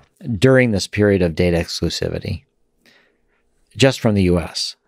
You know, and, and we're talking about the trying to do this research around the world as well. So that's what the Benefit Corporation is. The Benefit Corporation is our pharmaceutical arm. We're, we're about 130 people now, somewhere in that fluctuates, but uh, one third of them are in the nonprofit. We do harm reduction, psychedelic harm reduction. We help, you know, create programs for people with difficult psychedelic experiences at Burning Man, at festivals all over the world, even in cities. We're now negotiating with the um, police, the city of Denver, because Denver has made the mushrooms the lowest enforcement priority. Mm-hmm. You know, we Oregon has passed the Oregon psilocybin initiative. So in those areas, we're maybe more people are going to gravitate to do psychedelics. We want there to be harm reduction so that we don't have bad stories coming out that would change that. So MAPS does the psychedelic harm reduction. We do public education. We do a lot of it. That's what you and I are doing right now. We're doing that now. We So, so but and but also research towards well, the research now is done in the benefit corp. in the benefit corp. Yeah. So, so what happens is people donate to MAPS, get a tax deduction. MAPS transfers the money, or you could say invests in the benefit corp. Yes. The benefit corp will do the research, and then MAPS is the sponsor. But then we will Got it. license the sale of MDMA to the benefit corp. So Got and- it. But but the research is done with an eye towards creating something that has a big impact versus just research for knowledge sake. Yeah, yeah, because um, I'm interested in political change. Um, you, you can the, the other part of it, and, and which is that the brain is the most uh, complex thing we know in the in the universe. it's gonna it's endless. I mean, when when are we gonna really like this idea of will we figure out telepathy? Will we figure out tapping into the collective unconscious? What what is the extent of our brain? You know, how does the brain actually work? Do you ask chemistry questions? You know, so if if it's just the pursuit of knowledge, that is an endless thing. And how does that end the drug war? How does that help people directly? So that's why we're focused on drug development more than uh, mechanism of action. So before I ask you about uh, one but several uh, really exciting studies, um, let me ask sort of a personal question for me. So if I wanted to get psychedelics from the MAPS Public Benefit Corporation and uh, explore my own mind, um, how do I get to do that? Uh, and you, when? You won't be able to. You'll never be able This to. This is very unfortunate. Be, because the, the reason is because the Benefit Corp is designed as a pharmaceutical company. So we can only work on clinical indications. So let's say you, you come to me and you just say, Oh, I'm really depressed. Can I get MDMA to Yes. overcome my depression or overcome my PTSD? You know, we'll have to do research in those indications. Um, And by when you say me, you mean like a doctor. So this would be prescribed in theory by doctors. Well, this would go through a doctor yes. and a yes. prescription. Okay, let me uh let me ask another Oh, question. oh well, well, but, but to further answer, that, so so that's where the drug policy arm comes in, the drug policy reform. So you should be able to get access to psychedelics for your own personal growth, yes. but that's not medicine. So that's why we need to medicalize, to have things covered by insurance, to change people's attitudes, the public attitudes, and then we get this subsequent drug policy reform. And and we're talking about it in terms of licensed legalization. So my view is you should get a license to do psychedelics you get a little education stuff and then then you should be able to buy it and do it on your own. So let me rephrase the question in more specifically. So when can I, if I happen to have um, ailments of some kind where the doctor decides that psychedelics could help, when would you be a loose estimate for you of when a doctor will be able to prescribe to me something from uh, MAPS Public Benefit Co. Mm-hmm. And then when for my personal growth and creativity would I be able to get something? So like just looking out, this isn't like guaranteed, Yeah. but like your vision, your hope yeah um, for yeah for for, for psychedelics in society. well the end of 2023 so two and a half years from now we anticipate fda approval for the prescription use of mdma for ptsd because the fda does not mm, um, regulate the practice of medicine there is what's called off-label prescription. What that means, the label is what it's approved for. So the label will say "Oh, this is approved for PTSD, and but let's say you come in anything else, social anxiety or whatever, you can go to the doctor. They can give it to you. It might not be covered by insurance. They have to be a little bit careful about malpractice if they're. But I think the end of 2023 is when you will be able to do that. Now, there's actually another program, very limited, called expanded access, which is compassionate use, which means that, and we have approval for 50 people for compassionate use right now. We think that'll grow. So that's going to open up in about two months. And so those are people with PTSD. They have to be treatment resistant. Nothing has worked for them. And they can access MDMA while we're doing the phase three studies Wow. and but they have to pay for it themselves. We're not the sponsor has to pay for all the research, but expanded access because there's no control group, everybody gets the MDMA, people can pay for it themselves and we think that'll start in a couple months. But it's very limited, it's limited to certain cities. There's also a program called Right to Try which is um, passed through Congress. It's it's it's similar to this idea of compassionate use, but it cuts the FDA out of it, and mm-hmm. um, patients can negotiate directly with um, pharma companies to get access to their drugs. Um, that's starting to happen, I think, in Canada now. They're letting people have compassionate access to psilocybin be, for life-threatening illness because there has been studies with psilocybin for cancer patients and others with life-threatening illness.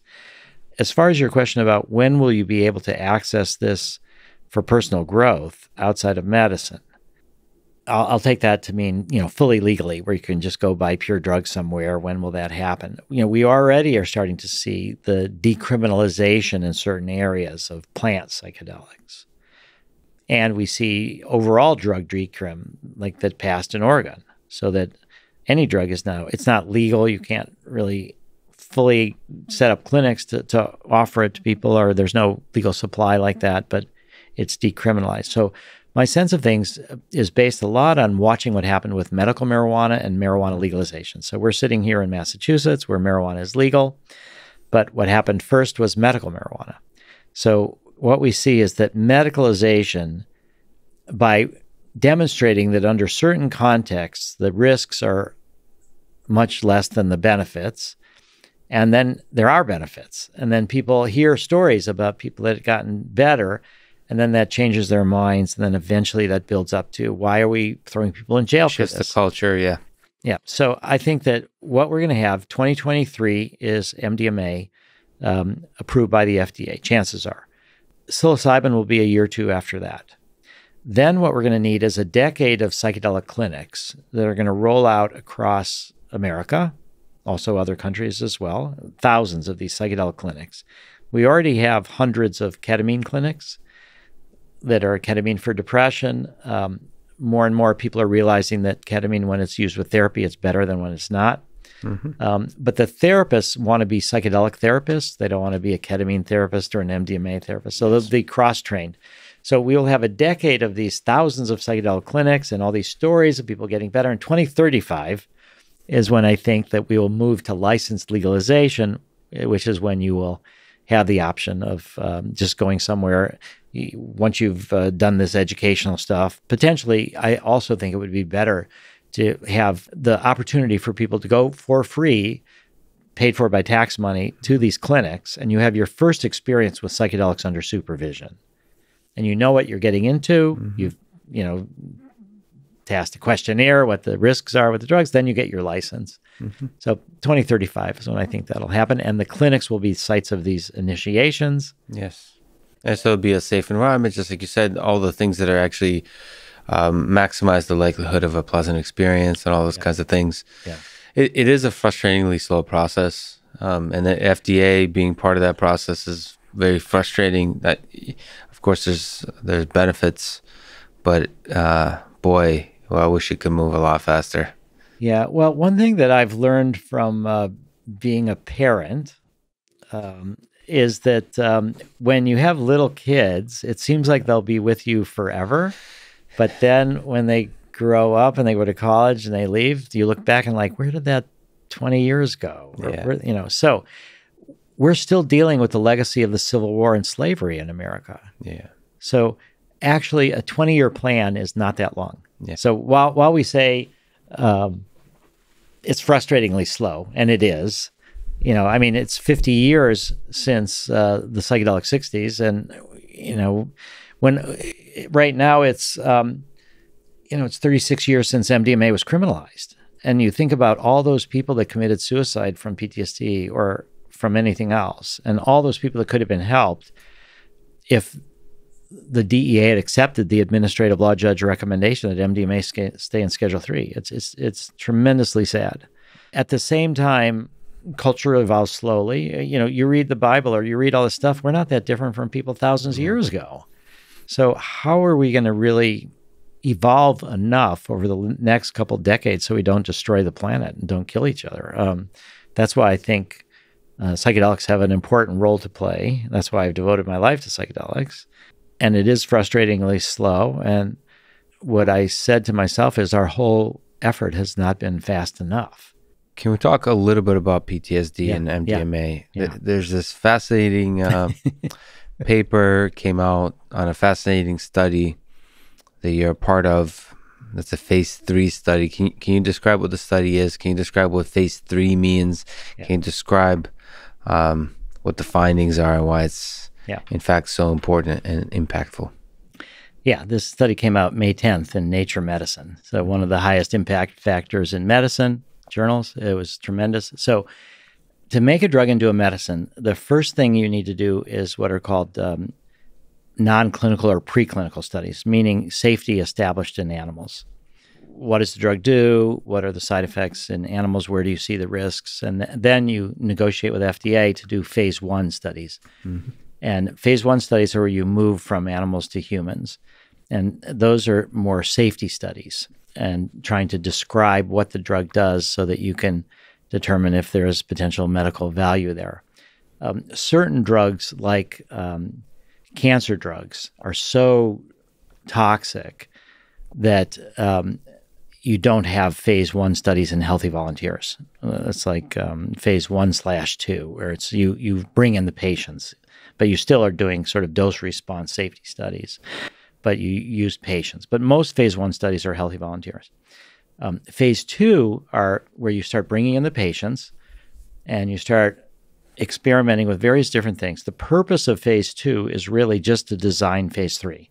Now, again, I'm sort of putting out of the picture in another areas mechanism of action. How do these drugs work? Phase two, you're trying to figure out what they do, um, who your patient population is, what are the risks, who do you include, who do you exclude, what are the doses, what is your treatment, what are your measures. Um, in our case, um, it was um, you know how do you do a double blind study? That was a big part of phase two. That's a big challenge for psychedelic drugs. Any kind of drugs that have a real strong effect. You know, how do you do a double blind study? Double blind, sorry to interrupt, would mean that uh, the patient should know, should not be aware whether it's a placebo or not. and the and, research and the researcher does not is not aware and so for that lack of awareness when the effect is really strong is very difficult to do on both the researcher and the patient side yes, and they, sometimes fascinating they talk about triple blind. So the the other part is the raters that evaluate the symptoms and mm-hmm. before and after. So you, you ideally want triple blind. You want the patients, the researchers, and the evaluators of the outcomes, mm-hmm. all of them, not to know what the drug, whether it was drug or placebo, and that's to reduce experimenter bias. So, and then then you move to phase three once you've figured out how to design uh, the phase three studies. And phase three are the large scale, multi site, placebo controlled, double blind studies where you must prove safety and efficacy in order to get permission to market the drug. Now, for us, when we started MAPS in 86, um, as I said, it was one year after the criminalization of MDMA in 85. We had five different protocols that were rejected by the FDA for studying with MDMA. And these were all various phase one studies. Um, they came from Harvard, from UC San Francisco, from the University of in Arizona, in Albuquerque, New Mexico, all, all over, and they were all rejected.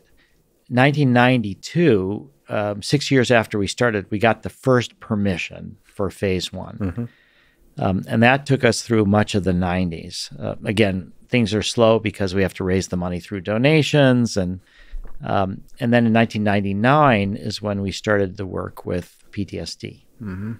And that then took us till um, November 29th, 2016, which is when we had the end of phase two meeting with FDA. So it took 30 years from the start of MAPS to the end of phase two meeting with FDA.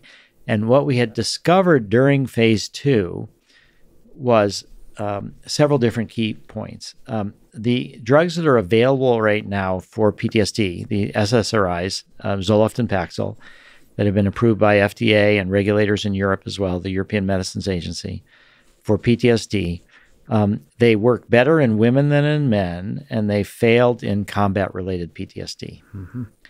Right. So what we learned is that MDMA-assisted therapy works just as well in men or women, and it works in combat-related PTSD. It works in regardless of the cause of PTSD. We also discovered that even though there are stories that you know people take MDMA at raves and they dance all night and they overheat and they get hyperthermia and they die from overheating, which is true and can happen from pure MDMA, um, or that sometimes people have heard about needing to cool down, and so they drink water and then while they're dancing all night, and then they drink too much water and then they dilute their blood and they die from hyponatremia. Mm-hmm. So there are risks of MDMA, but we discovered that in a therapeutic setting, we can control all those risks. Those things don't happen at all. Mm-hmm. So we discovered uh, safety. We could we could demonstrate safety.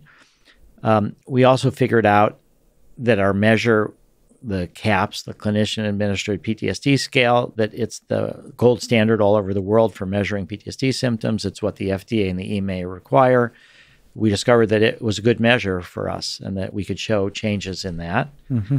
Um, the other big thing that we learned is that, um, and we haven't mentioned this yet, but the, the work in the 50s and 60s with LSD and psilocybin and the modern research over the last 20 years with psilocybin and classic psychedelics has demonstrated that there's a link between this mystical experience, this unitive mystical experience, and therapeutic outcomes hmm. for the treatment of addiction, for working with people with life-threatening illnesses, you know, that uh, for OCD, for obsessive compulsive disorder, that there's with the classic psychedelics, both in the 50 years ago and then the research now has been to, that there's a link between the depth of the mystical experience and therapeutic outcome. What we discovered is that that's not the case for MDMA hmm. that people do score fairly high on the scales of mystical experience. Not as high as they do with the classic psychedelics, but they do score pretty high on average. And a significant number of them have over the cutoff for what would be considered a full mystical experience. So, enough to say that we could look at a correlation and we didn't find any. The other thing that we discovered, and this was um, more um, humbling, I would say, for me personally, is that my dissertation at the Kennedy School, a big part of it was on the, you know, it's about the regulation of the medical use of psychedelics and marijuana. Mm-hmm. Big part of my dissertation was how to do the double blind study. And I thought I'd solved the problem. And I persuaded my uh, dissertation committee that I'd solved the problem. And the solution was therapy with low dose MDMA versus therapy with full dose MDMA. Mm-hmm. And everybody knows that they're going to get MDMA most of these people have never done it before. They'll be confused about is it full dose or low dose. And then the challenge is uh, to pick a dose that's high enough so that there is this confusion, but not so high that it's so therapeutic that we yeah. can't tell the difference between the groups. So we, we studied zero, meaning inactive placebo, uh, 25 milligrams, 30 milligrams, 40 milligrams, 50 milligrams, 75 milligrams, 100 milligrams, 125, and 150 um, what we discovered is that my dissertation was wrong and that there is no good solution to the double blind problem. Um, what we found is that, to our surprise, actually, was that 75 milligrams was an effective dose. Oh, wow. We didn't think that. I mean, the normal dose is like, uh, full dose is like 125 milligrams, mm-hmm. something like that. But 75 milligrams was an effective dose and we discovered that the lower doses so i was i was half right you could say. The the doses of 25 30 40 50 they they could produce uh, enough confusion that you could say that they were successful at blinding. Not perfectly but enough confusion so that people therapists couldn't know for sure so that so that there was this uh, reduction of bias you could say. But what we discovered again to to our surprise was that the low doses made people uncomfortable. They oh, they they stimulated them, but they didn't reduce the fear. And so people still got better with the therapy with low dose MDMA, but if we gave them therapy with inactive placebo, they did even better than if we gave them therapy with low dose MDMA. Mm-hmm. So we, we call it an anti therapeutic effect. Wow. I, I, don't mean to imply that they got worse, but it made people uncomfortable. People didn't like it, you know, but we would still help them make some progress. So we had the blinding, but what, what it meant by reducing the effect of therapy with inactive placebo is that it would make it easier for us to find a difference between the two groups. Uh. And so the real question is if you can do it with therapy, why bother add a drug? So we went to the FDA and and so this was what we discovered during phase two. We went to the FDA at this end of phase two meeting, and we said we can give you blinding, but it will make it easier for us to find a, a difference between the two groups. And so we suggest that we do therapy with inactive placebo versus therapy with full dose MDMA. That will cause a problem because The most people will be able to tell what they've got. Yep. What um, Tom Laughren, a doctor who used to be head of psychiatry products at FDA, is our uh, main advisor.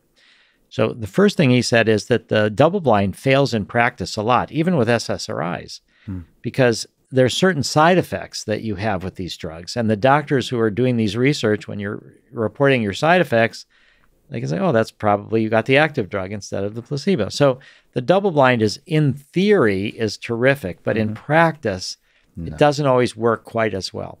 Yes. And so what Tom said is that there are two main approaches that they think are important to reduce bias. The first one is easy to do. It's called um, random assignment. So you know sometimes there's studies where you know you'll you'll treat a bunch of people um, with something, and some fraction of them will get better, and some won't. And then you say, okay, all those who didn't get better, who volunteers to get this new treatment? and then you give them the new treatment. But the people that volunteer are more likely to want to get better. They're not representative sample of everybody that has the disease. So when you have random assignment, everybody is similarly motivated and has meets the same inclusion exclusion criteria. So that's what we told. We, of course, we need random assignment. The other part was when the bias uh, double blind doesn't work as well, then the system of independent raters is especially important of how you do that. So we have um, over a, a pool of raters, over 20 of them, and we do this monthly in, inter-rater reliability tests to make sure that they, um, you know, evaluate this so that they're given a videotape of a PTSD patient, and then they're supposed to rate them according to their symptoms, and then then we sort of make sure that we've got this calibrated rater pool. And it's all done by Zoom, by telemedicine, and they're randomly assigned to the next person that needs a rating. Mm. So you that- said 20 raters. you know, so we've got like 20 raters and um, we want what we want to do is is make it so that each rater sees each patient only once, maybe twice, but but not tracking them through the study. Mm. So that guys to reduce the bias in the raters that they Yes. they don't know where this person is in the study. Yes. Um, and that and so we, there's a fellow um, Bob Temple who's like the old wise man at the FDA. He's Mhm. been there since 1972. He was in charge of the Office of Science Policy, and they brought him into the final meeting of this um, process where we are trying to design phase three. So once FDA said yes, you can go to phase three. That was November 29th, 2016. We then negotiated for eight months on the design of phase three and all of the other information This that is fascinating. is going to need. this process of design. Oh, it, it was, you know, to the extent that I have any uh, artistic creativity, it's in protocol design. I, um, I really love that. So you enjoy this process. I love it. I love it because it's always right. trade offs and it's, um, Yeah. it's, you know, and, and I acknowledge, you know, that, that we are all biased. And so how do you, Yeah. there's something beautiful about the scientific process Mhm. designed to get you to the truth. Um, Especially when that scientific process is trying to get to the truth of the human organism, which is so complicated. So it's very difficult to uh, to dissect to, to, to get the, the the strong effects. And when you're analyzing, when you have like raters, they're they're watching a video. There's removing subjectivity from that is very very challenging. Yeah, very very much so um, and so we came to this agreement with fda though that, that we would um, use this uh, independent rater pool and um, and so we learned in, in phase two again that the double blind there was no solution to the double blind problem. And and both the fda and the european medicines agency in the end agreed that the best design was therapy with inactive placebo versus therapy with full dose MDMA, accepting the fact that most people will be able to tell what whether they got nothing or they got full dose MDMA. Most therapists will be able to tell the difference, but um, that makes a harder test for us to show a difference between the two groups because we're giving them inactive placebo and not the anti therapeutic effect of low dose MDMA. So once we started phase three, so then we were able to start um, in 2018, phase three. And the paper in Nature Medicine that just came out was the results of our first phase three study. We came to agreement with FDA that we would do two phase three studies. Each would have 100 persons in them. Mm-hmm. And what the FDA said to us is that they thought that we could prove efficacy with smaller numbers than they wanted to see for safety. The reason they said that is that in phase two, we had a large effect size. So, from a statistical point of view, the bigger of an effect that you're looking for, the fewer number of people you need to get statistical significance. Mm-hmm. When you're trying to find small differences, you need large numbers of people to sort of work out the noise. Um, so we we were uh, we came to agreement on two 100 person phase three studies. Uh, and the idea is that it's very possible that the the first part, the first study, would show the efficacy because the effect is so strong. Yeah, yeah, and the second, but but also safety as well. So so you know, one of the things we also realized when you work with a highly stigmatized drug in the midst of still you know the drug war and prohibition that we need highly sympathetic subjects. Hmm. And we need to make the best case we can, which means we need to work with the hardest cases hmm. so that this is really needed. And so we end up enrolling people. The first study was chronic severe PTSD. And unlike many studies of PTSD, we enroll people that have previously attempted suicide. Wow. So we, we have multiple people that have tried to kill themselves that we felt like um, if we were to exclude them, what are we doing? That those are the people that need it the most. So we we came to this agreement with FDA. We're going to work with um, chronic severe PTSD patients, including those that had attempted suicide, and we would do these two 100 person studies. And we also uh, negotiated what's called an interim analysis. So what that means is that when the study is um, underway. Um, and, and, often big, big studies, they have this kind of interim analysis where what you do is, and for us, we negotiated when we had 60% or 60 people had reached the primary outcome measure mm-hmm. and all 100 had been enrolled, then we would take a look at the data. And if the statistical analysis that we did was um, showing, you know, based on a certain uh, effect size that we chose based on what we saw in phase two, the interim analysis is for what's called sample size reestimation. Mm-hmm. So, what it means is if the results aren't as good as you thought they would, you can add more people mm-hmm. and then you'll get statistical significance. It means that your effect isn't as strong as you thought. It'll be harder to get insurance to cover it, but FDA will still approve it because FDA also believes that these are group averages there may be some people that will later figure out respond better than others. So they'll approve it if it's statistically significant, even if it has a low effect size. The SSRIs have low effect size. Mm-hmm. So we did the um, interim analysis in March of 2020. And what we discovered, to our delight, was that um, we did not need to add any subjects. That's all we were told. We, we weren't told, like, what is the results. We were just told all we were going to get is a number, zero, or you need to add X numbers of people to the study to get st- statistical significance. That's right around the time that COVID hit and lockdowns happened. And yeah. we ended up negotiating with FDA that we would end the study with 90 people instead of 100. Mm-hmm. Um, it took a while for us to end up doing that. So the paper that we just published is on the results of 90 people.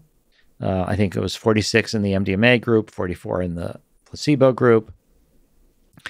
And what we discovered was that the study worked better than we had even hoped.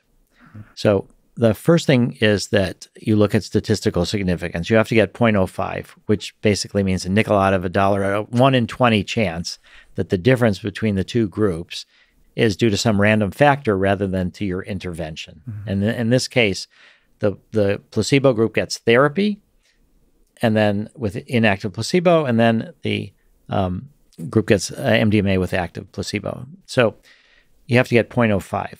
Um, there's another measure that the FDA uses sometimes called robust, which means one in a thousand instead of one in 20, one in a thousand. And if you get a robust result, 0.001, and you meet some other criteria, they might agree to approve the drug on the basis of just one phase three study instead of two. Because when you think about it, a one in 20 chance for your first second uh, phase three study, a one in 20 chance for your second phase three study, you multiply that together, it's one in 400, point zero um, two five. Um, that's pretty good. So robust 0.001 is even better than two independent phase three studies, each at 0.05. Um, what we ended up getting was one in 10,000, 0.0001. Wow. Outrageous. Yeah. You know, incredibly. So that's a measure of both the difference between the two groups and the variability.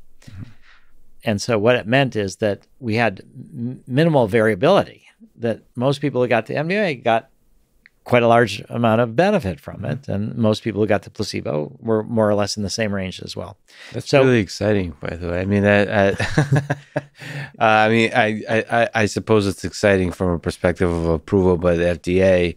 Maybe perhaps that's the way you're seeing it, but it's also uh, the exciting because it's it has a chance to help people that are truly suffering. Yeah.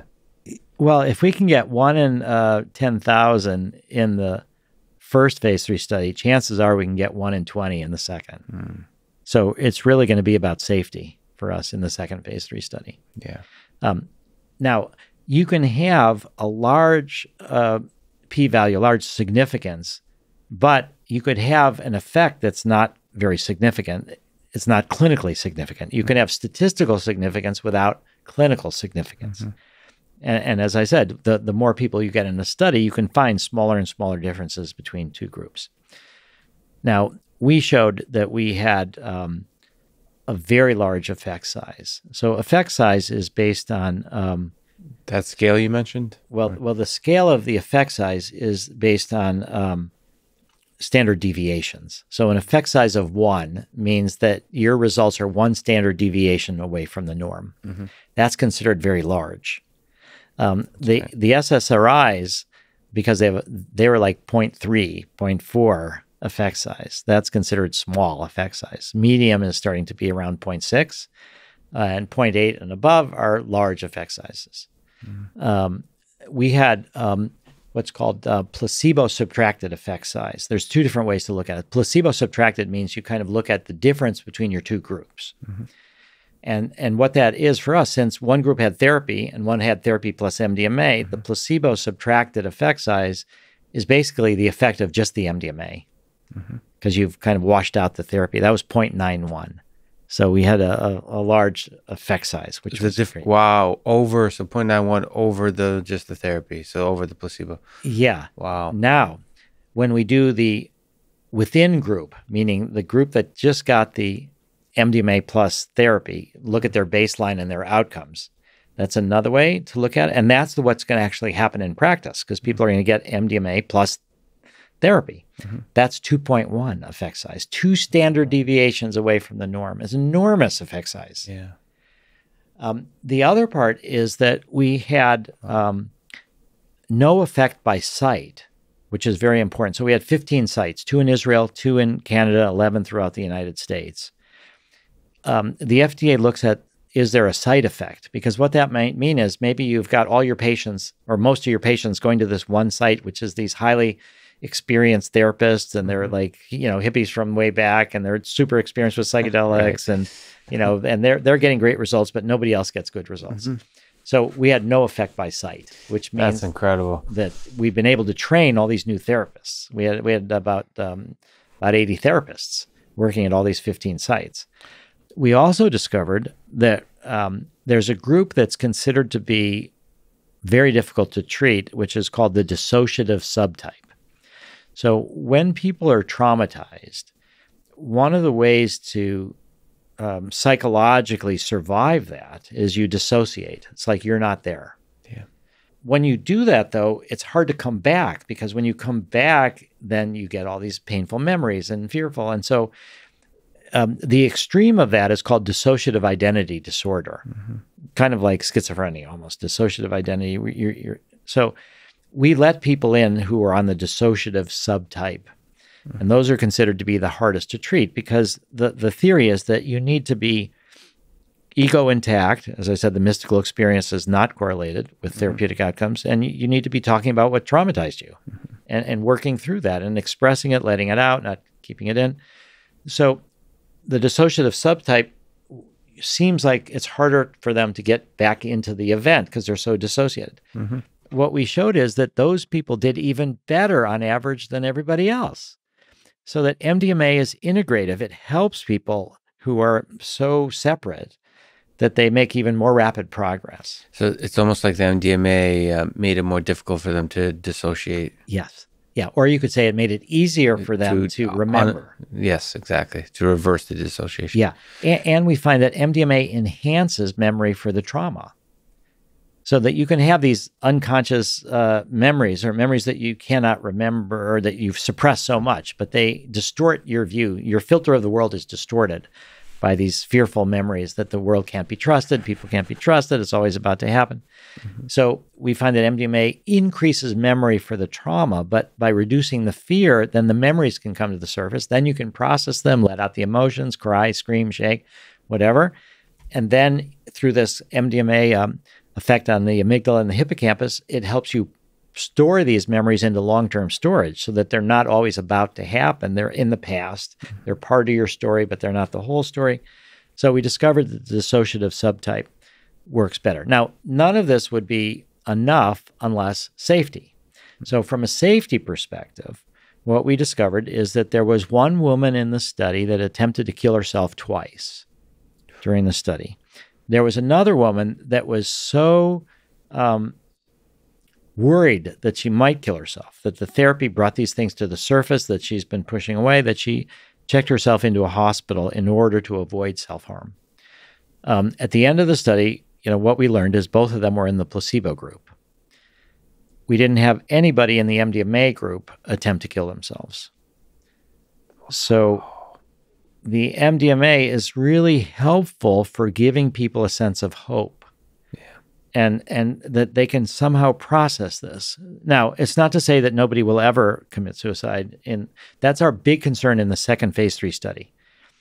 As I said, it's more going to be about safety than about efficacy. We think we'll get the efficacy, but we're very concerned about you know safety mm-hmm. because we had um, problems in the first phase three study of somebody trying to kill herself twice in the placebo group. It, you know, it's it's the background for having PTSD so yes. there'd have to be a disproportionate number of people in the MDMA group try to kill themselves or succeed in killing themselves than in the placebo group mm-hmm. for the FDA to say, oh, this MDMA, it, it's too dangerous. It brings, yeah. we, we don't think that's going to happen. So those are, the other findings are that the from safety is that the side effects are transitory. They're minor. They're, mm-hmm. they're, um, you know, sweating or jaw clenching or, you know, right. slight temperature increase. And, you know, everybody that's been to a rave knows about, you know, taking ecstasy. You know, there are some side effects, um, but they're minor, they're transitory. And there has been this massive problem of um, during the 80s, the 90s, NIDA, the National Institute on Drug Abuse, was trying to say that MDMA was neurotoxic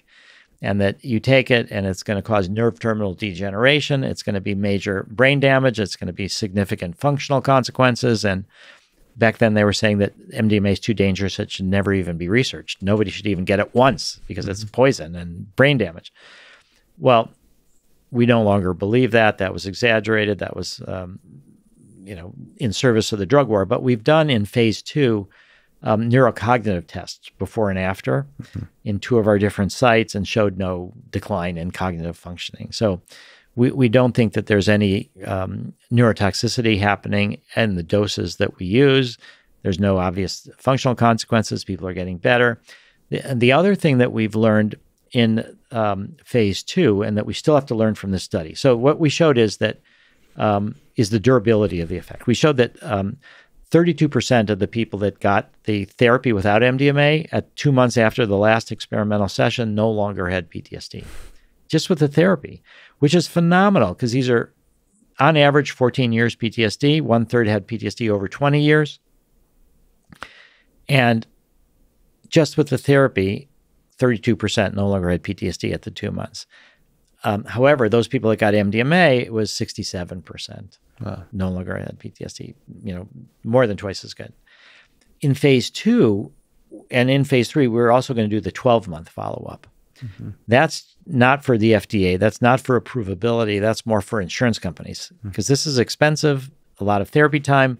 If it fades, you know, if it's great results initially, but then it fades after six months, what's the point? Mm-hmm. And what we showed in phase two is that um, people keep getting better. At the two month follow up, um, they're doing pretty well, but at the 12 month follow up, they're even better. Mm-hmm. So it's durable. People have learned how to process trauma. They keep getting better. So we've not reached that point in this phase three study where everybody's got their one year follow up. But we, we have also done three and a half year follow ups to some of the groups that were in phase two and showed that it was durable. Mm-hmm. And we're doing a long, long term follow up now to everybody, to, to many of the people in phase two. Some of them treated 15 years ago.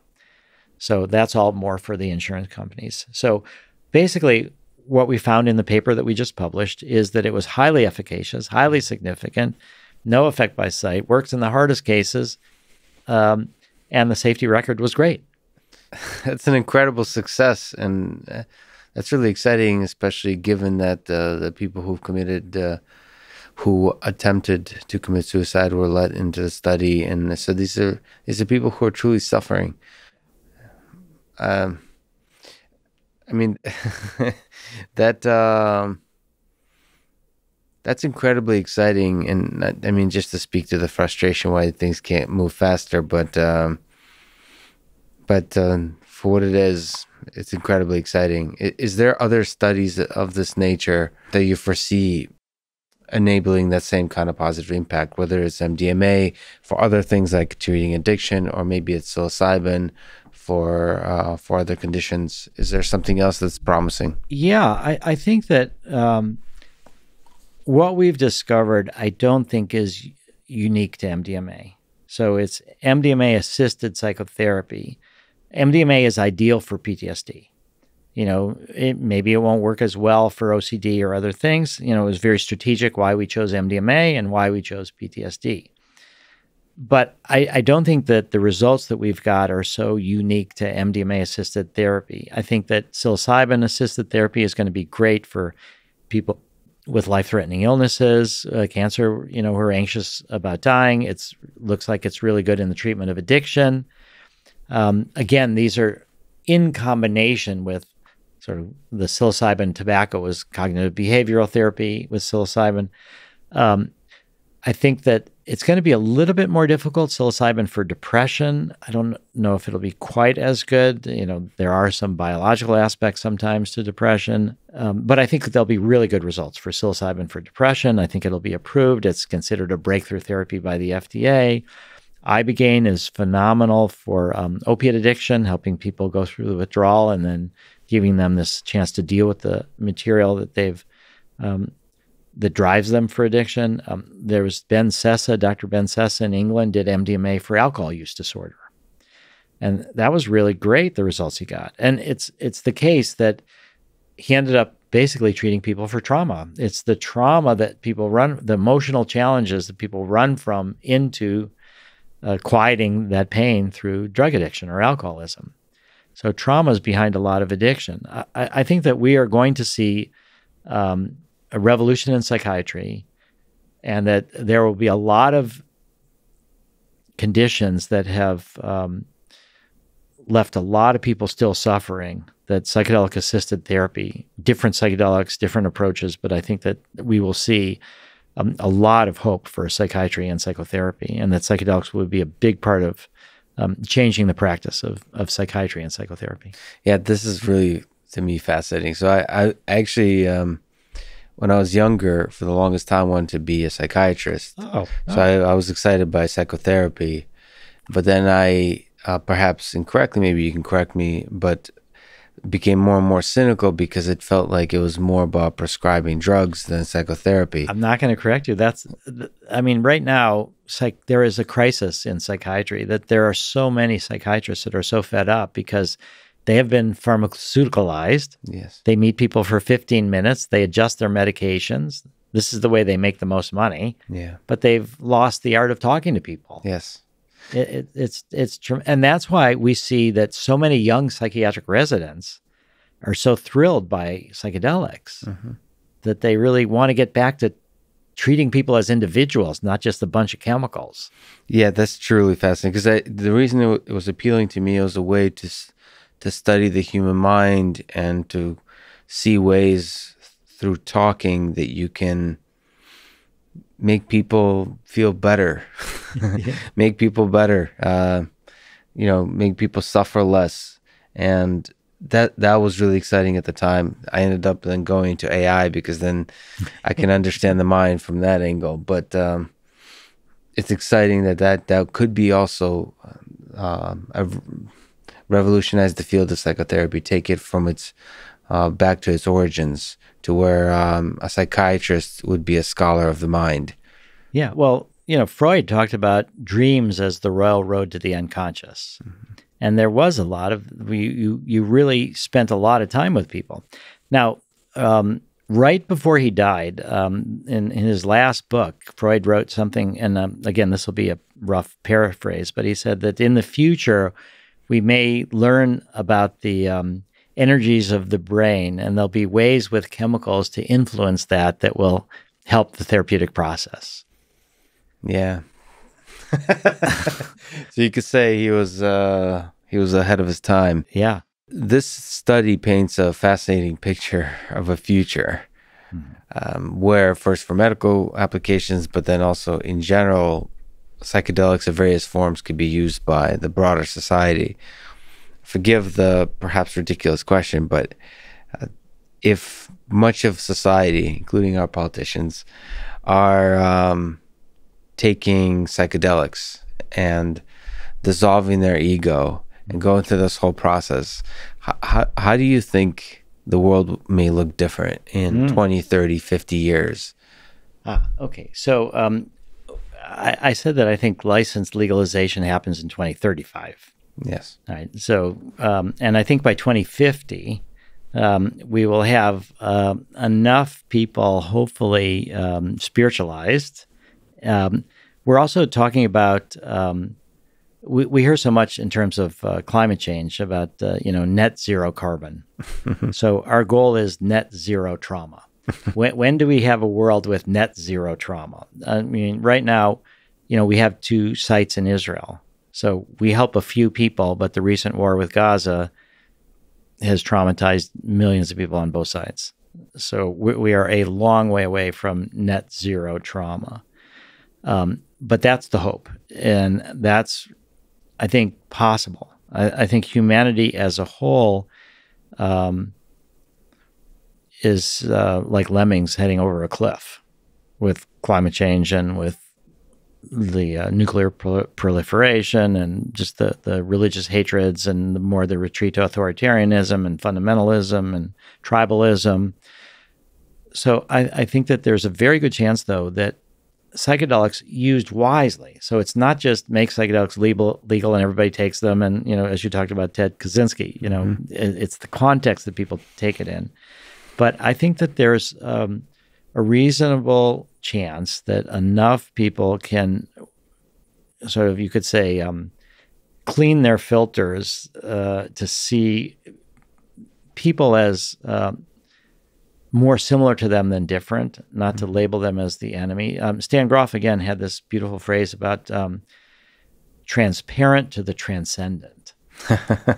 that, that's what, yeah. so for our ego, can, can we be transparent to the transcendent? Because yeah. can the filter that we look through the world at be cleaned to, um, you could say, cleansing the doors of perception? You know, mm-hmm. can, can it be cleaned to the point where we can see the humanity in everybody and see that, um, uh, one way to say this is that um, can we get to the point where religions are seen as like languages, where we all have this need to communicate? There's thousands of different languages. You know, we don't say that this language is fundamentally better than this language. This language is the only right language. Everybody must speak English, and Russian is bad or German is bad. You know, maybe we'll get to that point that la- that religions are like that. That they're different cultural backgrounds, different symbol systems, different um, saints and heroes and messiahs and all this. But that you know, yeah, Jesus is the Son of God, but so are we, so is everybody.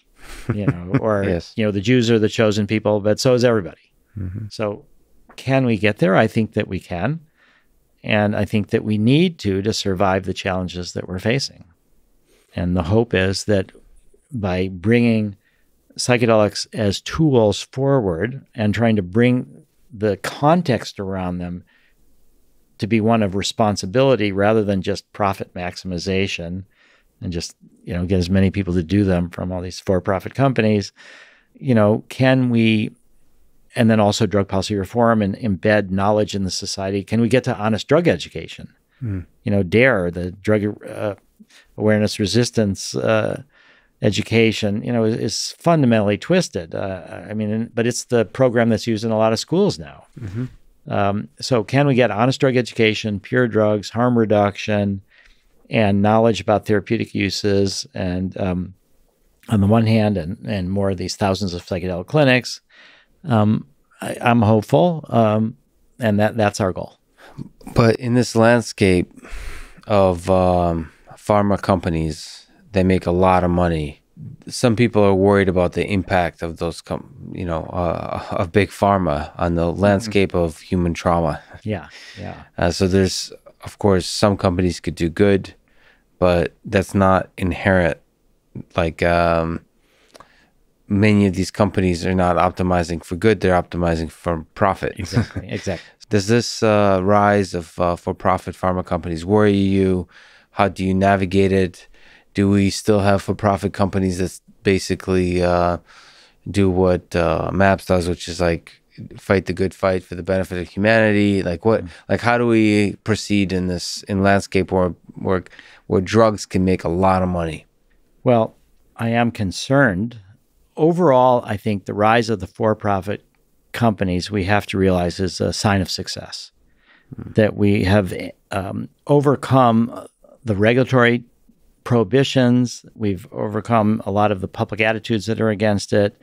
We've demonstrated some success. So the rise of the for profit companies are a sign of the progress that we've made. On the other hand, turning things over to profit maximizing companies, the big concern is that they're going to try to um, minimize the amount of therapy mm-hmm. and make it so the cost is less. So insurance companies are more likely to cover it, and then that they just sell the most drugs. Yeah.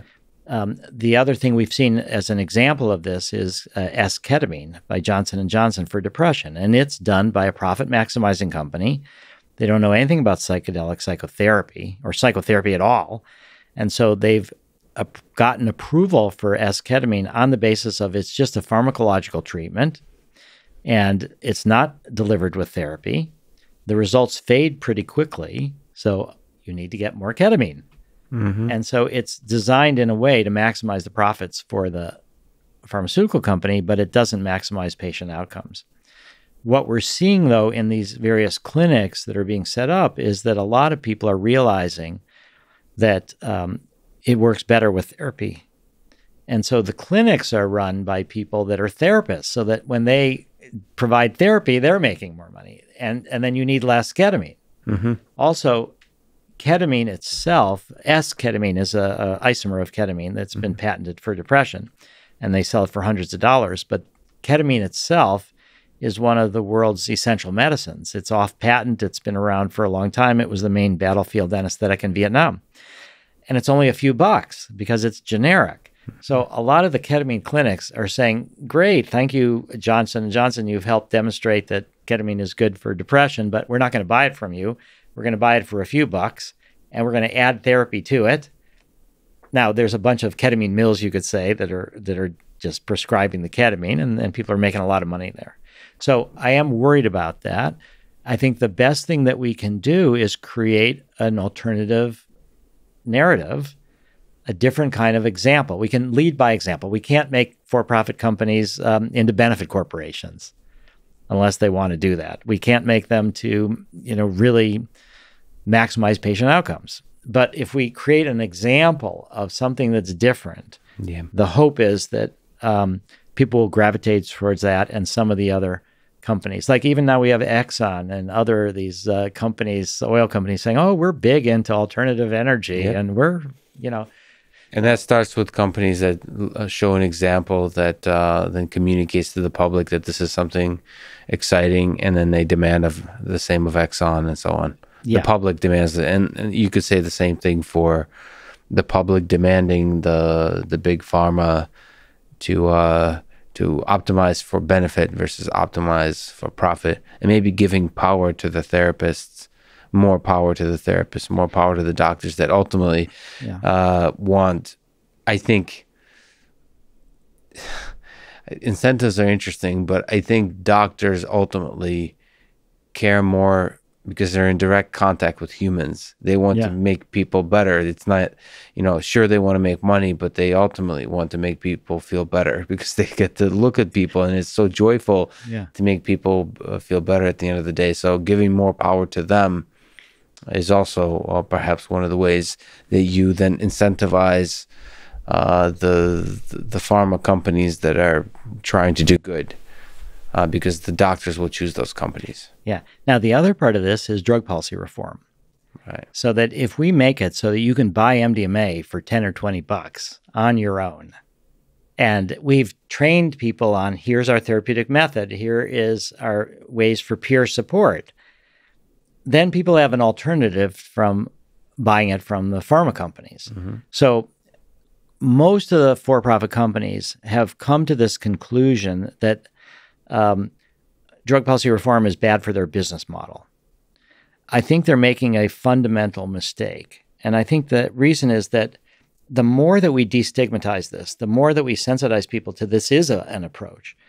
Even when people can get it on their own and do it with their friends or do it with themselves, there's going to be even more people that say, oh my God, I've got real serious issues. I would rather go to trained professionals covered by insurance, and I think it'll increase the business.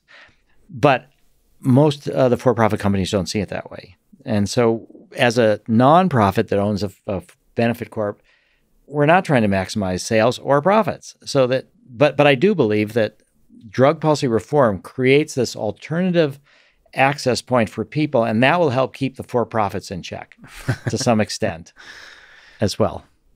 I love it. Uh, is there? Um, let's put on your wise visionary hat and ask. Um, when you look to young folks, is there advice you can give to young people today, whether in high school or college, about career, Mm. about life? You you've lived uh, quite a nonlinear and fascinating life yourself. yeah.